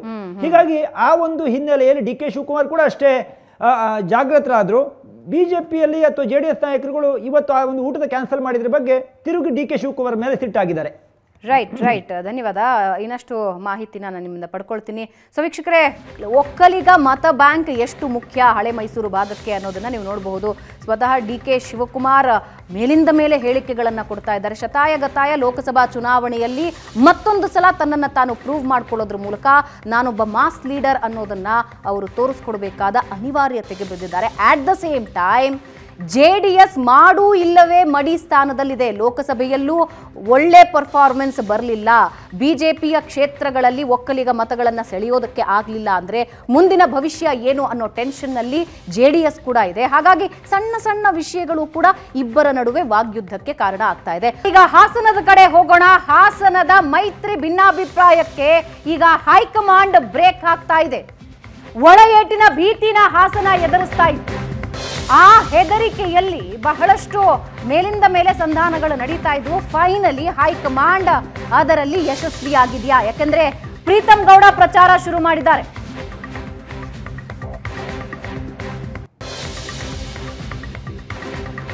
ಹಾಸನದಲ್ಲಿ ಪ್ರಜ್ವಲ್ ರೇವಣ್ಣ ಪರ ಪ್ರೀತಮ್ ಗೌಡ ಪ್ರಚಾರ ಆರಂಭಿಸಿದ್ದಾರೆ.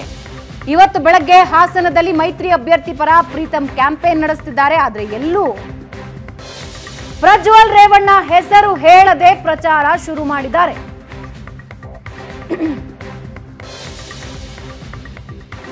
ಹಾಸನದಲ್ಲೇ ಸುದ್ದಿಗೋಷ್ಠಿ ನಡೆಸಿ ಬೆಂಬಲ ಘೋಷಿಸಿದ್ದಾರೆ ಪ್ರೀತಂ ಗೌಡ ಸುದ್ದಿಗೋಷ್ಠಿಯಲ್ಲಿ ಎಲ್ಲೂ ಕೂಡ ಪ್ರಜ್ವಲ್ ರೇವಣ್ಣ ಹೆಸರು ಹೇಳಿಲ್ಲ. ಸುದ್ದಿಗೋಷ್ಠಿಯಲ್ಲಿ ಹಾಸನ ಎನ್ ಡಿ ಎ ಅಭ್ಯರ್ಥಿ ಅಂತ ಅಷ್ಟೇ ಹೇಳ್ತಾ ಇದ್ದಾರೆ. ಅಸಮಾಧಾನ ಇದೆ. ಆದರೂ ನಾನು ಪ್ರಚಾರದಲ್ಲಿ ಭಾಗಿಯಾಗ್ತೀನಿ ಅನ್ನೋ ಸ್ಪಷ್ಟ ಸಂದೇಶ ಕೊಟ್ಟಿದ್ದಾರೆ. ಇದು ನನಗೆ ಚಾಲೆಂಜ್ ಪ್ರತಿಷ್ಠೆಯಾಗಿ ನಾನು ತೆಗೆದುಕೊಳ್ತೀನಿ ಅಂತ ಪ್ರೀತಮ್ ಗೌಡ ಹೇಳಿದ್ದಾರೆ. ನಿನ್ನೆ ಕೂಡ ಮಾತನಾಡ್ತಾ ತಂದೆಗಿಂತ ಒಂದು ವೋಟ್ ಜಾಸ್ತಿನೇ ತರ್ತೀನಿ ನನ್ನ ಕ್ಷೇತ್ರದಿಂದ ಅಂತ ಪ್ರೀತಮ್ ಗೌಡ ಹೇಳಿದ್ರು. ಹಾಸನದಲ್ಲಿ ಎನ್ ಡಿ ಎ ಅಭ್ಯರ್ಥಿಯನ್ನ ಗೆಲ್ಲಿಸೋದಕ್ಕೆ ನಾನು ಹೋರಾಟ ಮಾಡ್ತೀನಿ. ನಾನು ಸೋತವನು. ಶಾಸಕರು ಅವರ ಹತ್ರನೇ ಇದ್ದಾರೆ ಅಂತಾನು ಟಾಂಗ್ ಕೊಟ್ರು. ಪ್ರಜ್ವಲ್ ರೇವಣ್ಣ ಜೆಡಿಎಸ್ ಹೆಸರೇಳದೆ ತಮ್ಮ ಅಸಮಾಧಾನನ ಮತ್ತೆ ಮತ್ತೆ ಪ್ರೀತಮ್ ಗೌಡ ಹೊರಗೆ ಹಾಕ್ತಾ ಇದ್ದಾರೆ. ಆದ್ರೆ ಪ್ರಚಾರದ ಅಖಾಡಕ್ಕೆ ಇಳಿದಿದ್ದಾರೆ ಇವಾಗ. ಇವ್ರು ಪ್ರಚಾರಕ್ಕೆ ಬರ್ತಾರೋ ಇಲ್ವೋ? ಒಳ ಏಟು ಬಿದ್ರೆ ಏನ್ ಮಾಡೋದು ಅನ್ನೋ ಟೆನ್ಷನ್ ಜೆಡಿಎಸ್ ಅಭ್ಯರ್ಥಿ ಪ್ರಜ್ವಲ್ ರೇವಣ್ಣಗೆ ಕಾಡ್ತಾ ಇತ್ತು. ಪ್ರೀತಮ್ ಗೌಡ ಜೊತೆ ಯಾರು ಓಕೆ ಓಕೆ ಅಂತ ಅನ್ನಿಸ್ಕೊಡ್ತಾ ಇದ್ರು. ಅವರನ್ನ ಒಟ್ಟಿಗೆ ತೆಗೆದುಕೊಂಡು ಹೋಗೋದಕ್ಕೆ ಪ್ರಜ್ವಲ್ ರೇವಣ್ಣ ಪ್ರಯತ್ನ ಪಟ್ರು ಆದ್ರೆ ಅಂತಿಮವಾಗಿ ಹೈಕಮಾಂಡ್ ಪ್ರೀತಮ್ ಗೌಡ ಅವರ ಅಸಮಾಧಾನನ ಶಮನ ಮಾಡೋದ್ರಲ್ಲಿ ಯಶಸ್ವಿಯಾಗಿದೆ. ಸದ್ಯಕ್ಕಂತೂ ಪ್ರಚಾರದಲ್ಲಿ ತೊಡಕೊಂಡಿದ್ದಾರೆ. ಹಾಗಾದ್ರೆ ಪ್ರೀತಮ್ ಗೌಡ ಏನ್ ಹೇಳಿದ್ರು ಈ ಸಂದರ್ಭದಲ್ಲಿ ಕೇಳಿಸ್ಕೊಳ್ಳಿ. ನಾನು ಹೇಳ್ತಾ ಇರೋದು ಮೋದಿಯವ್ರು ಪ್ರಧಾನಮಂತ್ರಿ ಆಗಬೇಕು ಅಂತೇಳಿ ಹೇಳಿದ್ರೆ, ಯಾವ ಎನ್ ಡಿ ಎ ಕೂಟಕ್ಕೆ ಹಾಕಬೇಕು ಅನ್ನೋದು ಮತ್ತಾರು ಬುದ್ಧಿವಂತರಿದ್ದಾರೆ ಅವರು ತಿಳುವಳಿಕೆ ಅಂತವರಿದ್ದಾರೆ. ಹಾಸನ ಎಜುಕೇಟೆಡ್ ಜನರಿರೋಂಥ ಕ್ಷೇತ್ರ ಮತ್ತು ಪ್ರಬುದ್ಧರಿರೋಂಥ ಕ್ಷೇತ್ರ. ಹಾಗಾಗಿ ಹೆಚ್ಚು ಅದ್ರ ಬಗ್ಗೆ ನಾವು ಚರ್ಚೆ ಮಾಡದೆ ನಮ್ಮ ಎನ್ ಡಿ ಎ ಅಭ್ಯರ್ಥಿಗೆ ಒಳನರಸೀಪುರ ಕ್ಷೇತ್ರಕ್ಕಿಂತ ಹೆಚ್ಚು ಮತವನ್ನು ಕೊಡುವಂಥದ್ದು ಕೆಲಸ ಪ್ರೀತಿ ತೋರಿಸಿದ್ರೆ ಕೆಲಸ ಮಾಡೋಂಥವನು. ಕಂಪ್ಲೇಂಟ್ ಹೇಳಿದ್ರೆ ರಾಜಕಾರಣನೇ ಬೇಡ ನಾನು ಮನೇಲಿ ಅಂತವನು ಇದು ಇಡೀ ನನ್ನ ಕ್ಷೇತ್ರ ಜನಕ್ಕೆ ಗೊತ್ತು ಜಿಲ್ಲೆ ಜನಕ್ಕೆ ಗೊತ್ತು ರಾಜ್ಯ ಜನಕ್ಕೆ ಗೊತ್ತು. ನಾನು ಯಾವುದಕ್ಕೂ ಬಗ್ಗವನು ಜಗ್ಗವನಲ್ಲ ನಾನು ನರೇಂದ್ರ ಮೋದಿಯವರ ಅಭಿಮಾನಿಯಾಗಿ ಭಾರತೀಯ ಜನತಾ ಪಾರ್ಟಿಯ ಕಾರ್ಯಕರ್ತನಾಗಿ ಒಬ್ಬ ರಾಜ್ಯದ ಪ್ರಧಾನ ಕಾರ್ಯದರ್ಶಿಯಾಗಿ ನನಗೆ ಜವಾಬ್ದಾರಿ ಇದೆ. ನಾನು ಇವತ್ತು ಆನ್ ರೆಕಾರ್ಡ್ ಹೇಳ್ತಿದ್ದೀನಿ.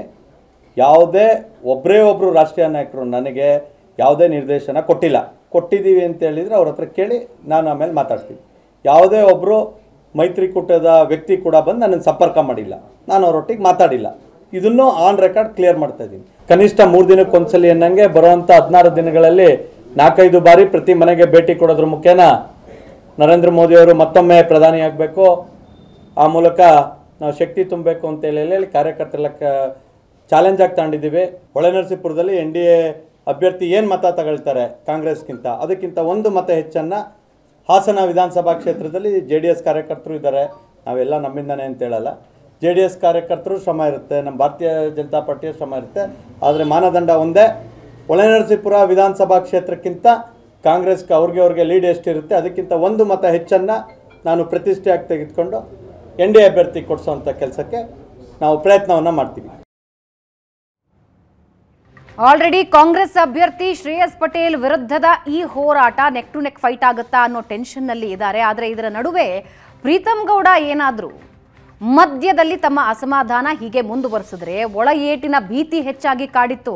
ಇದೇ ಟೆನ್ಷನ್ ಮೈತ್ರಿ ಅಭ್ಯರ್ಥಿ ಪ್ರಜ್ವಲ್ ರೇವಣ್ಣನ ನಿರಂತರವಾಗಿ ಕಾಡಿತ್ತು. ಅಂತೂ ಹೈಕಮಾಂಡ್ ಸಮಾಧಾನ ಮಾಡೋದ್ರಲ್ಲಿ ಸದ್ಯಕ್ಕೆ ಯಶಸ್ವಿ ಆಗಿದೆ ಪ್ರೀತಮ್ ಗೌಡ ಮಾತಾಡ್ತಿದ್ದಾರೆ ಪ್ರಚಾರಕ್ಕೆ ಹೋಗ್ತಾ ಇದ್ದಾರೆ. ಇದರ ಇಫೆಕ್ಟ್ ಯಾವ ರೀತಿ ಇರುತ್ತೆ ಅನ್ನೋದನ್ನ ನಮ್ಮ ಜೊತೆ ಮಾತನಾಡೋದಕ್ಕೆ ನಮ್ಮ ರಾಜಕೀಯ ವಿಶ್ಲೇಷಕರಾದ ಪ್ರಶಾಂತ್ ನಾಥು ಜಾಯ್ನ್ ಆಗಿದ್ದಾರೆ. ಪ್ರಶಾಂತ್ ಅಂತೂ ಇಂತೂ ಇದು ಸುಖಾಂತಿಯನ ಸುಖಾಂತ್ಯನಾ? ಹಾಸನದ ಟೆನ್ಷನ್ ಮೌನ ಇದಕ್ಕಿಂತ ಯಾವುದೇ ಪಕ್ಷದ ನಾಯಕರು ಇನ್ನೂ ಏನು ಹೆಚ್ಚಿನದನ್ನು ನಿರೀಕ್ಷಿಸ್ಲಿಕ್ಕೆ ಸಾಧ್ಯ ಇದೆ?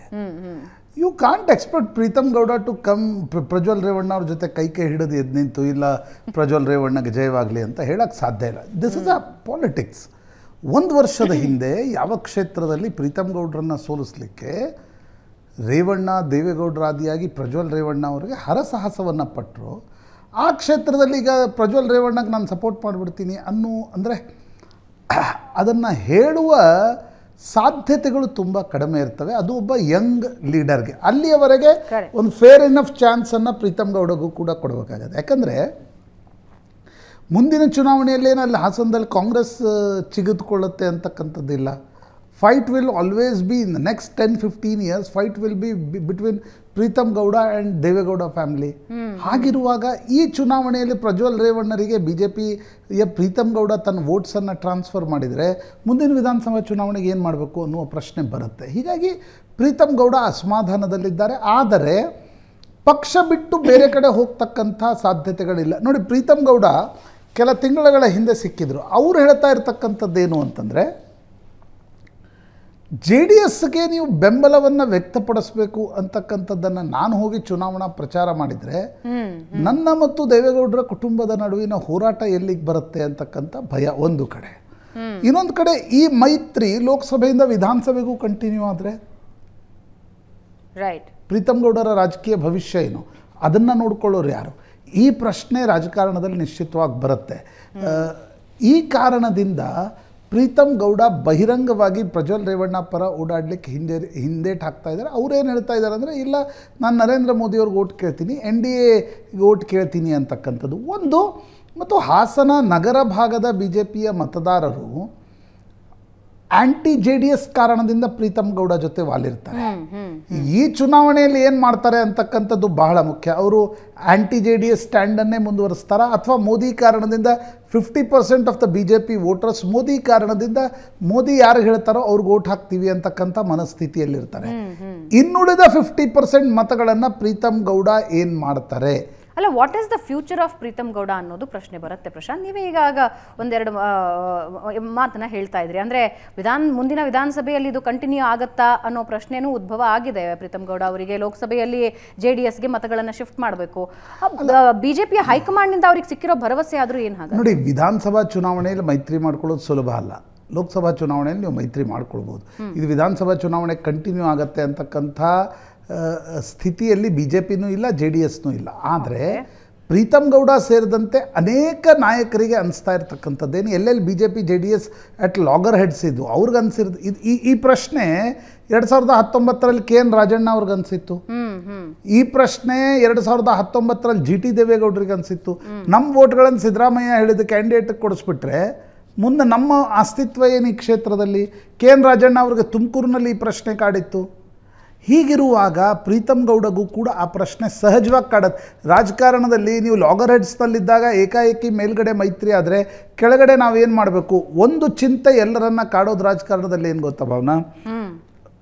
ಜೆ ಡಿ ಎಸ್ನ ತೆನೆ ಹೊತ್ತ ಕ ತೆನೆ ಹೊತ್ತ ಮಹಿಳೆಯ ಚಿಹ್ನೆಗೆ ನಮ್ಮ ವೋಟನ್ನು ಟ್ರಾನ್ಸ್ಫರ್ ಮಾಡಿದರೆ ನಾವೇ ಐದತ್ತು ಸಾವಿರ ವೋಟ್ಗಳನ್ನು ಒಯ್ದು ಜೆ ಡಿ ಎಸ್ಗೆ ವಿಧಾನಸಭೆಯಲ್ಲಿ ಕೊಟ್ಟಂತಾಗಲ್ವಾ? Because voting is also an habit ಅನೇಕರಿಗೆ ನೀವು ಕೇಳಿ ನೋಡಿ. ನಾವು ನೋಡ್ರಿ ಇಪ್ಪತ್ತು ವರ್ಷದಿಂದ ಅವ್ರಿಗೆ ಹಾಕ್ತಿದ್ವಿ ಅವ್ರಿಗೇ ಆಗ್ತಾ ಬರ್ತಾ ಇದ್ದೀವಿ ಅಂತ ಹೇಳ್ತಾರೆ. ಹಾಗಿರುವಾಗ ಪ್ರೀತಮ್ ಗೌಡ್ರಂಥ ನಾಯಕನಿಗೆ ಕಾಡ್ತಾ ಇರತಕ್ಕಂಥ ದೊಡ್ಡ ಪ್ರಶ್ನೆ ಏನು ಅಂತಂದರೆ ಸರಿ ಈಗ ನಾವು ಪ್ರಜ್ವಲ್ ರೇವಣ್ಣ ಪರವಾಗಿ ಓಡಾಡಿದ್ವಿ ಅಂತಂದರೆ ಇಪ್ಪತ್ತೆಂಟರಲ್ಲಿ ನಮ್ಮ ಪರಿಸ್ಥಿತಿ ಏನು? ಬೇಡಪ್ಪ ಲೋಕಸಭಾ ಚುನಾವಣೆ ಆದ ನಂತರ ನನ್ನ ಅಸ್ತಿತ್ವ ಏನು ಈ ಕ್ಷೇತ್ರದಲ್ಲಿ? ಮುಂದಿನ ವಿಧಾನಸಭೆಯವರೆಗೂ ಎಲ್ಲಿ ಅಕಾಮಿಡೇಟ್ ಮಾಡ್ತಾರೆ ದಟ್ ಈಸ್ ಬಿಗರ್ ಕ್ವಶನ್ ಆ ಕಾರಣದಿಂದ ಪ್ರೀತಮ್ ಗೌಡ ಹಿಂದೇಟ್ ಹಾಕ್ತಾ ಇದ್ದಾರೆ ಪ್ರಜ್ವಲ್ ರೇವಣ್ಣ ಜೊತೆ ಓಡಾಡೋಕ್ಕೆ.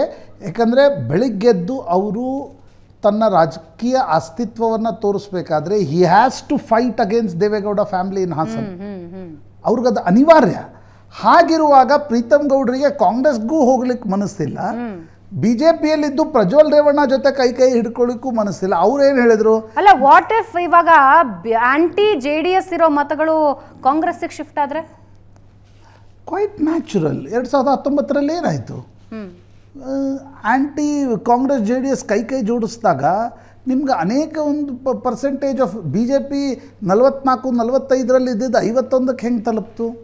ಬಿಕಾಸ್ ಎಲ್ಲೆಲ್ಲಿ ಕಾಂಗ್ರೆಸ್ ಕ್ಯಾಂಡಿಡೇಟ್ ಇದ್ದಾರೆ ಅಲ್ಲಿ ನಾನ್ ಒಕ್ಕಲ ಒಕ್ಕಲಿಗ ಇದ್ದರೆ ಅಹಿಂದ ಮತಗಳು ಸ್ಪೆಷಲಿ ಹಿಂದುಳಿದ ವರ್ಗದ ಮತಗಳು. ಅಲ್ಲಿ ಒಕ್ಕಲಿಗ ಕ್ಯಾನ್ ಅಂದರೆ ಒಕ್ಕಲಿಗ ಕ್ಯಾಂಡಿಡೇಟ್ ಇರಲಿಲ್ಲ ಅಂದರೆ ಒಕ್ಕಲಿಗ ಮತಗಳು ಬಿ ಜೆ ಪಿ ಹತ್ರ ಶಿಫ್ಟ್ ಆಗಿದ್ದರಿಂದ ಈಗ ಮೈಸೂರು ಕ್ಷೇತ್ರ ಒಂದು ಲಕ್ಷದ ಹೆಚ್ಚು ಮತಗಳ ಅಂತರದಿಂದ ಗೆದ್ದರು ಚಾಮರಾಜನಗರ ಗೆದ್ದರು ಮಂಡ್ಯದಂಥ ಸೀಟ್ನಲ್ಲಿ ಸುಮಲತಾ ಗೆದ್ದು ಬಿಡಿ. ಹಾಸನ ಮತ್ತು ಬೆಂಗಳೂರು ಗ್ರಾಮಾಂತರ ಬಿಟ್ಟರೆ ಚಿಕ್ಕಬಳ್ಳಾಪುರದಲ್ಲಿ ಎಂದು ಬಿ ಜೆ ಪಿ ಗೆದ್ದಿತ್ತು. ಕೋಲಾರದಲ್ಲಿ ಮುನಿಸ್ವಾಮಿ ಹೋಗಿ ಬೆಂಗಳೂರು ಕಾರ್ಪ್ ಅಂದರೆ ಕಾರ್ಪೊರೇಷನ್ನಲ್ಲಿ ಇದ್ದವರು ಅಲ್ಲಿ ಹೋಗಿ ಕೋಲಾರದಲ್ಲಿ ಚುನಾವಣೆ ಗೆದ್ದರು ಜಿ ಎಸ್ ಬಸವರಾಜು ದೇವೇಗೌಡರಂಥವ್ರ ವಿರುದ್ಧ ಯಾಕೆ ಗೆದ್ದರು ಯಾಕಂದರೆ ಜೆ ಎಸ್ ಬಸವರಾಜ್ಗೆ ಲಿಂಗಾಯತ ಮತಗಳ ಜೊತೆ ಜೊತೆಗೆ ಕೆ ಎನ್ ರಾಜಣ್ಣ ಅಂಥವರಿಂದ ಹಿಂದುಳಿದ ಮತಗಳು ನಾನು ಅಲ್ಪಸಂಖ್ಯಾತ ಮತಗಳು ಬಂದವು ಅಂತ ಹೇಳಲ್ಲ. ಹಿಂದುಳಿದ ಮತ್ತು ದಲಿತ ಮತಗಳು ದಂಡಿಯಾಗಿ ಬಂದವು. ಆ ಕಾರಣದಿಂದ ಹಾಸನದಲ್ಲೂ ಒಂದು ಚಿಂತೆ ಜೆ ಡಿ ಎಸ್ಗೆ ನಿಶ್ಚಿತವಾಗಿದೆ. ಕಾಂಗ್ರೆಸ್ ಪ್ರಬಲವಾಗ್ತಾ ಇದೆ. ಬಿಕಾಸ್ ಆಫ್ ಶ್ರೇಯಸ್ ಪಟೇಲ್ ಅವ್ರಿಗೊಂದು ಸಿಂಪತಿ ಇದೆ. ಹೀಗಿರುವಾಗ ಬಿ ಜೆ ಪಿಯ ಮತಗಳು ಗಟ್ಟಿಯಾಗಿ ಜೆ ಡಿ ಎಸ್ ಜೊತೆ ನಿಂತ್ಕೊಂಡ್ರೆ ಮಾತ್ರ ಒಂದು ಕಂಫರ್ಟಬಲ್ ವಿನ್ ಅತ್ತ ಪ್ರಜ್ವಲ್ ರೇವಣ್ಣ ತಲುಪ್ತಾರೆ. ಆದರೆ ಒಂದು ವರ್ಷದ ಹಿಂದೆ ಸಕಲೇಶ್ಪುರ ಇರಲಿ ಬೇಲೂರು ಇರಲಿ ಹಾಸನ ಇರಲಿ ಇಲ್ಲಿ ಫೈಟ್ ನಡೆದಿರೋದೇ ಜೆ ಡಿ ಎಸ್ನ ವಿರುದ್ಧ. ರೈಟ್ ಹೀಗಾಗಿ ಅವ್ರಿಗೆ ಸಹಜವಾಗಿ ಪ್ರೀತಮ್ ಗೌಡ ಅಂತರೂ ತುಂಬಾ ವೋಕಲ್ ಆಗಿ ದೇವೇಗೌಡರ ಕುಟುಂಬದ ವಿರುದ್ಧ ಮಾತನಾಡಿದ್ರು. ಹೀಗಾಗಿ ಅವ್ರಿಗನ್ಸುತ್ತೆ ನನ್ನ ಫ್ಯೂಚರ್ ಪಾಲಿಟಿಕ್ಸ್ನ ದೃಷ್ಟಿಯಿಂದ ನೋಡಿದಾಗ ನಾನೀಗ ಹೈಕಮಾಂಡ್ ಹೇಳ್ತು ಅನ್ನುವ ಕಾರಣಕ್ಕೋಸ್ಕರ ಪ್ರಜ್ವಲ್ ರೇವಣ್ಣ ಕೈ ಹಿಡಿದ್ರೆ ನಾನು ಮುಂದಿನ ನಾಲ್ಕು ವರ್ಷ ಏನು ಮಾಡಬೇಕು? ರೈಟ್ ಹೀಗಾಗಿ ಹೈಕಮಾಂಡ್ ಕೂಡ ಅವರಿಗೆ ಸ್ಪೇಸ್ ಕೊಡುವಂತೆ ಕಾಣ್ತಾ ಇದೆ. ಪ್ರಜ್ವಲ್ ಪ್ರೀತಮ್ ಗೌಡ ಒಂದು ಮಾತನ್ನ ಬಿ ಜೆ ಪಿಯ ನಾಯಕರಿಗೂ ಹೇಳಿದರು ನನ್ನನ್ನು ಹಾಸನದಿಂದ ಬಿಟ್ಬಿಡಿ ನಾನು ಬೇರೆ ಕಡೆ ಮೈಸೂರಿಗೋ ಎಲ್ಲೋ ಇನ್ಚಾರ್ಜ್ ಅಂತ ಹಾಕಿ ನಾನು ಹೋಗಿ ಕೆಲಸ ಮಾಡ್ತೀನಿ ಅಂತಕ್ಕಂಥದ್ದು. ಆದರೆ ಪ್ರಜ್ವಲ್ ರೇವಣ್ಣ ರೇವಣ್ಣ ಮತ್ತು ದೇವೇಗೌಡರು ಸತತವಾಗಿ ಬಿ ಜೆ ಪಿಯ ರಾಜ್ಯ ನಾಯಕರಿಗೆ ಹೇಳ್ತಾ ಇದ್ದಾರೆ. ಉಳಿದೆಲ್ಲ ಕ್ಷೇತ್ರಗಳಲ್ಲಿ ನಾವು ಬೆಂಬಲಿಸ್ತಾ ಇದ್ದೀವಿ ಇಲ್ಲಿ ಯಾಕೆ ನೀವು ಪ್ರೀತಮ್ ಗೌಡ ನಮ್ಮನ್ನು. ಬಂದು ಬೆಂಬಲಿಸಲ್ಲ ಅಂತಕ್ಕಂಥದ್ದು.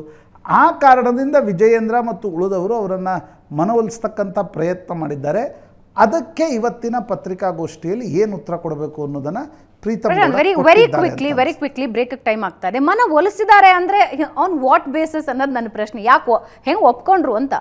ಅಲ್ಲ ಇದು ಅನೇಕ ಬಿ ಜೆ ಪಿ ನಾಯಕರು ಹೇಳ್ತಾ ಇರ್ತಕ್ಕಂಥದ್ದು ಇದೇನು ಮೊದಲ ಬಾರಿ ಅಲ್ಲ. ಹಿಂದೆ ತೊಂಬತ್ತೊಂಬತ್ತರಲ್ಲಿ ಯಡಿಯೂರಪ್ಪನವರು ಹುಬ್ಳಿಯಲ್ಲಿ ಒಂದು ಸಂಕಲ್ಪ ರ್ಯಾಲಿಯನ್ನು ಮಾಡಿದರು. ಯಾರ ವಿರುದ್ಧ? ಜೇಜ್ ಪಟೇಲ್ರ ವಿರುದ್ಧ. ಹತ್ತು ದಿನಗಳ ನಂತರ ಅಟಲ್ ಬಿಹಾರಿ ವಾಜಪೇಯಿ ಯಡಿಯೂರಪ್ಪನವ್ರನ್ನ ಕರೆದು ಹೇಳಿದರು J H Patel J D U ಸೇರ್ತಾ ಇದ್ದಾರೆ ಅವ್ರ ಜೊತೆ ನೀವು ಮೈತ್ರಿ ಮಾಡಿಕೊಳ್ಳಿ ಅಂತ. ಆಗ ಯಡಿಯೂರಪ್ಪನವ್ರು ಮೈತ್ರಿ ಮಾಡಿಕೊಳ್ಳಿಲ್ವಾ? ಹಾಗೆ ಕೆಲವೊಂದು ಸಲ ಅನಿವಾರ್ಯ ಪರಿಸ್ಥಿತಿ ಬರುತ್ತೆ. ಈಗ ಹೈಕಮಾಂಡ್ ಹೇಳ್ತಾ ಇದೆ ನಿಮಗೆ ಒಳ್ಳೆ ಭವಿಷ್ಯ ಇದೆ.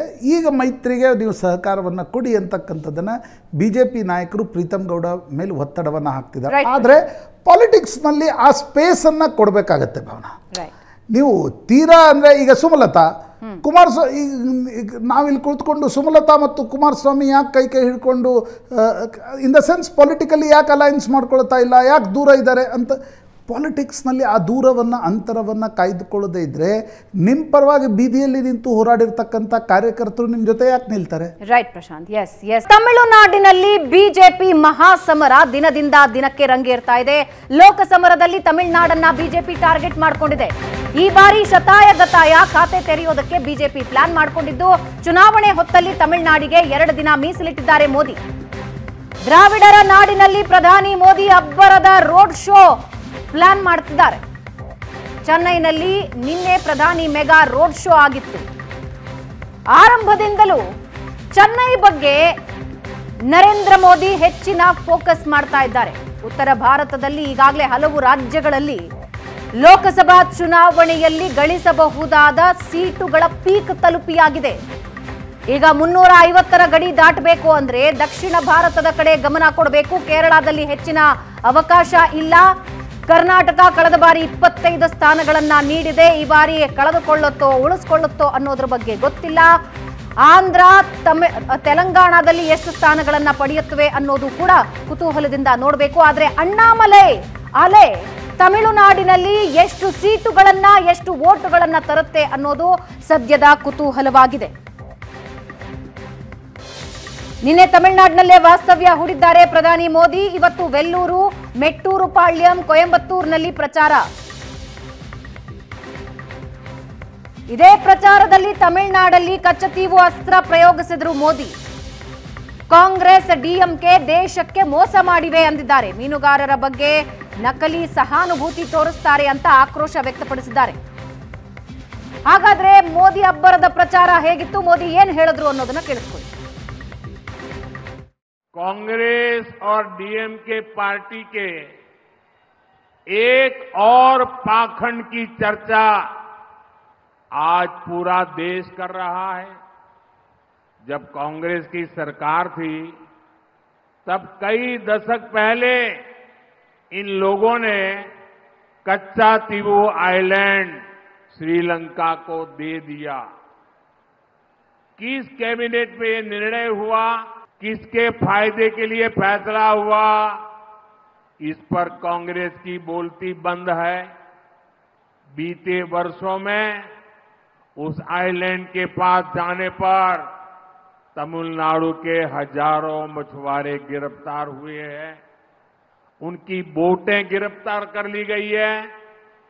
गिरफ्तारी पर कांग्रेस और डीएमके झूठी हमदर्दी दिखाते हैं, लेकिन ये लोग तमिलनाडु के लोगों को ये सच नहीं बताते कि कच्चा तीवू आइलैंड उन्होंने श्रीलंका को दे दिया और तमिलनाडु की जनता को अंधेरे में रखा था।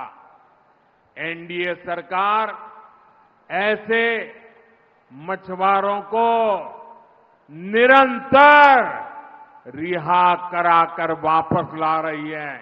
इतना ही नहीं, पाँच मछुआरों को फांसी की सजा कर दी थी तमिलनाडु श्रीलंका ने। मैं उनको भी ज़िंदा वापस लौट के आया था।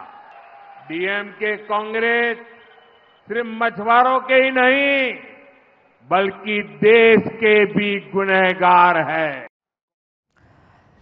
ಇವೆಷ್ಟು ಇವತ್ತಿನ ಪಾರ್ಟಿ ರೌಂಡ್ಸ್ ನೇರ ದಿಟ್ಟ ನಿರಂತರ ಸುದ್ದಿಗಾಗಿ ನೋಡ್ತಾ ಇರಿ ಏಷ್ಯಾ ನೆಟ್ ಸುವರ್ಣ ನ್ಯೂಸ್.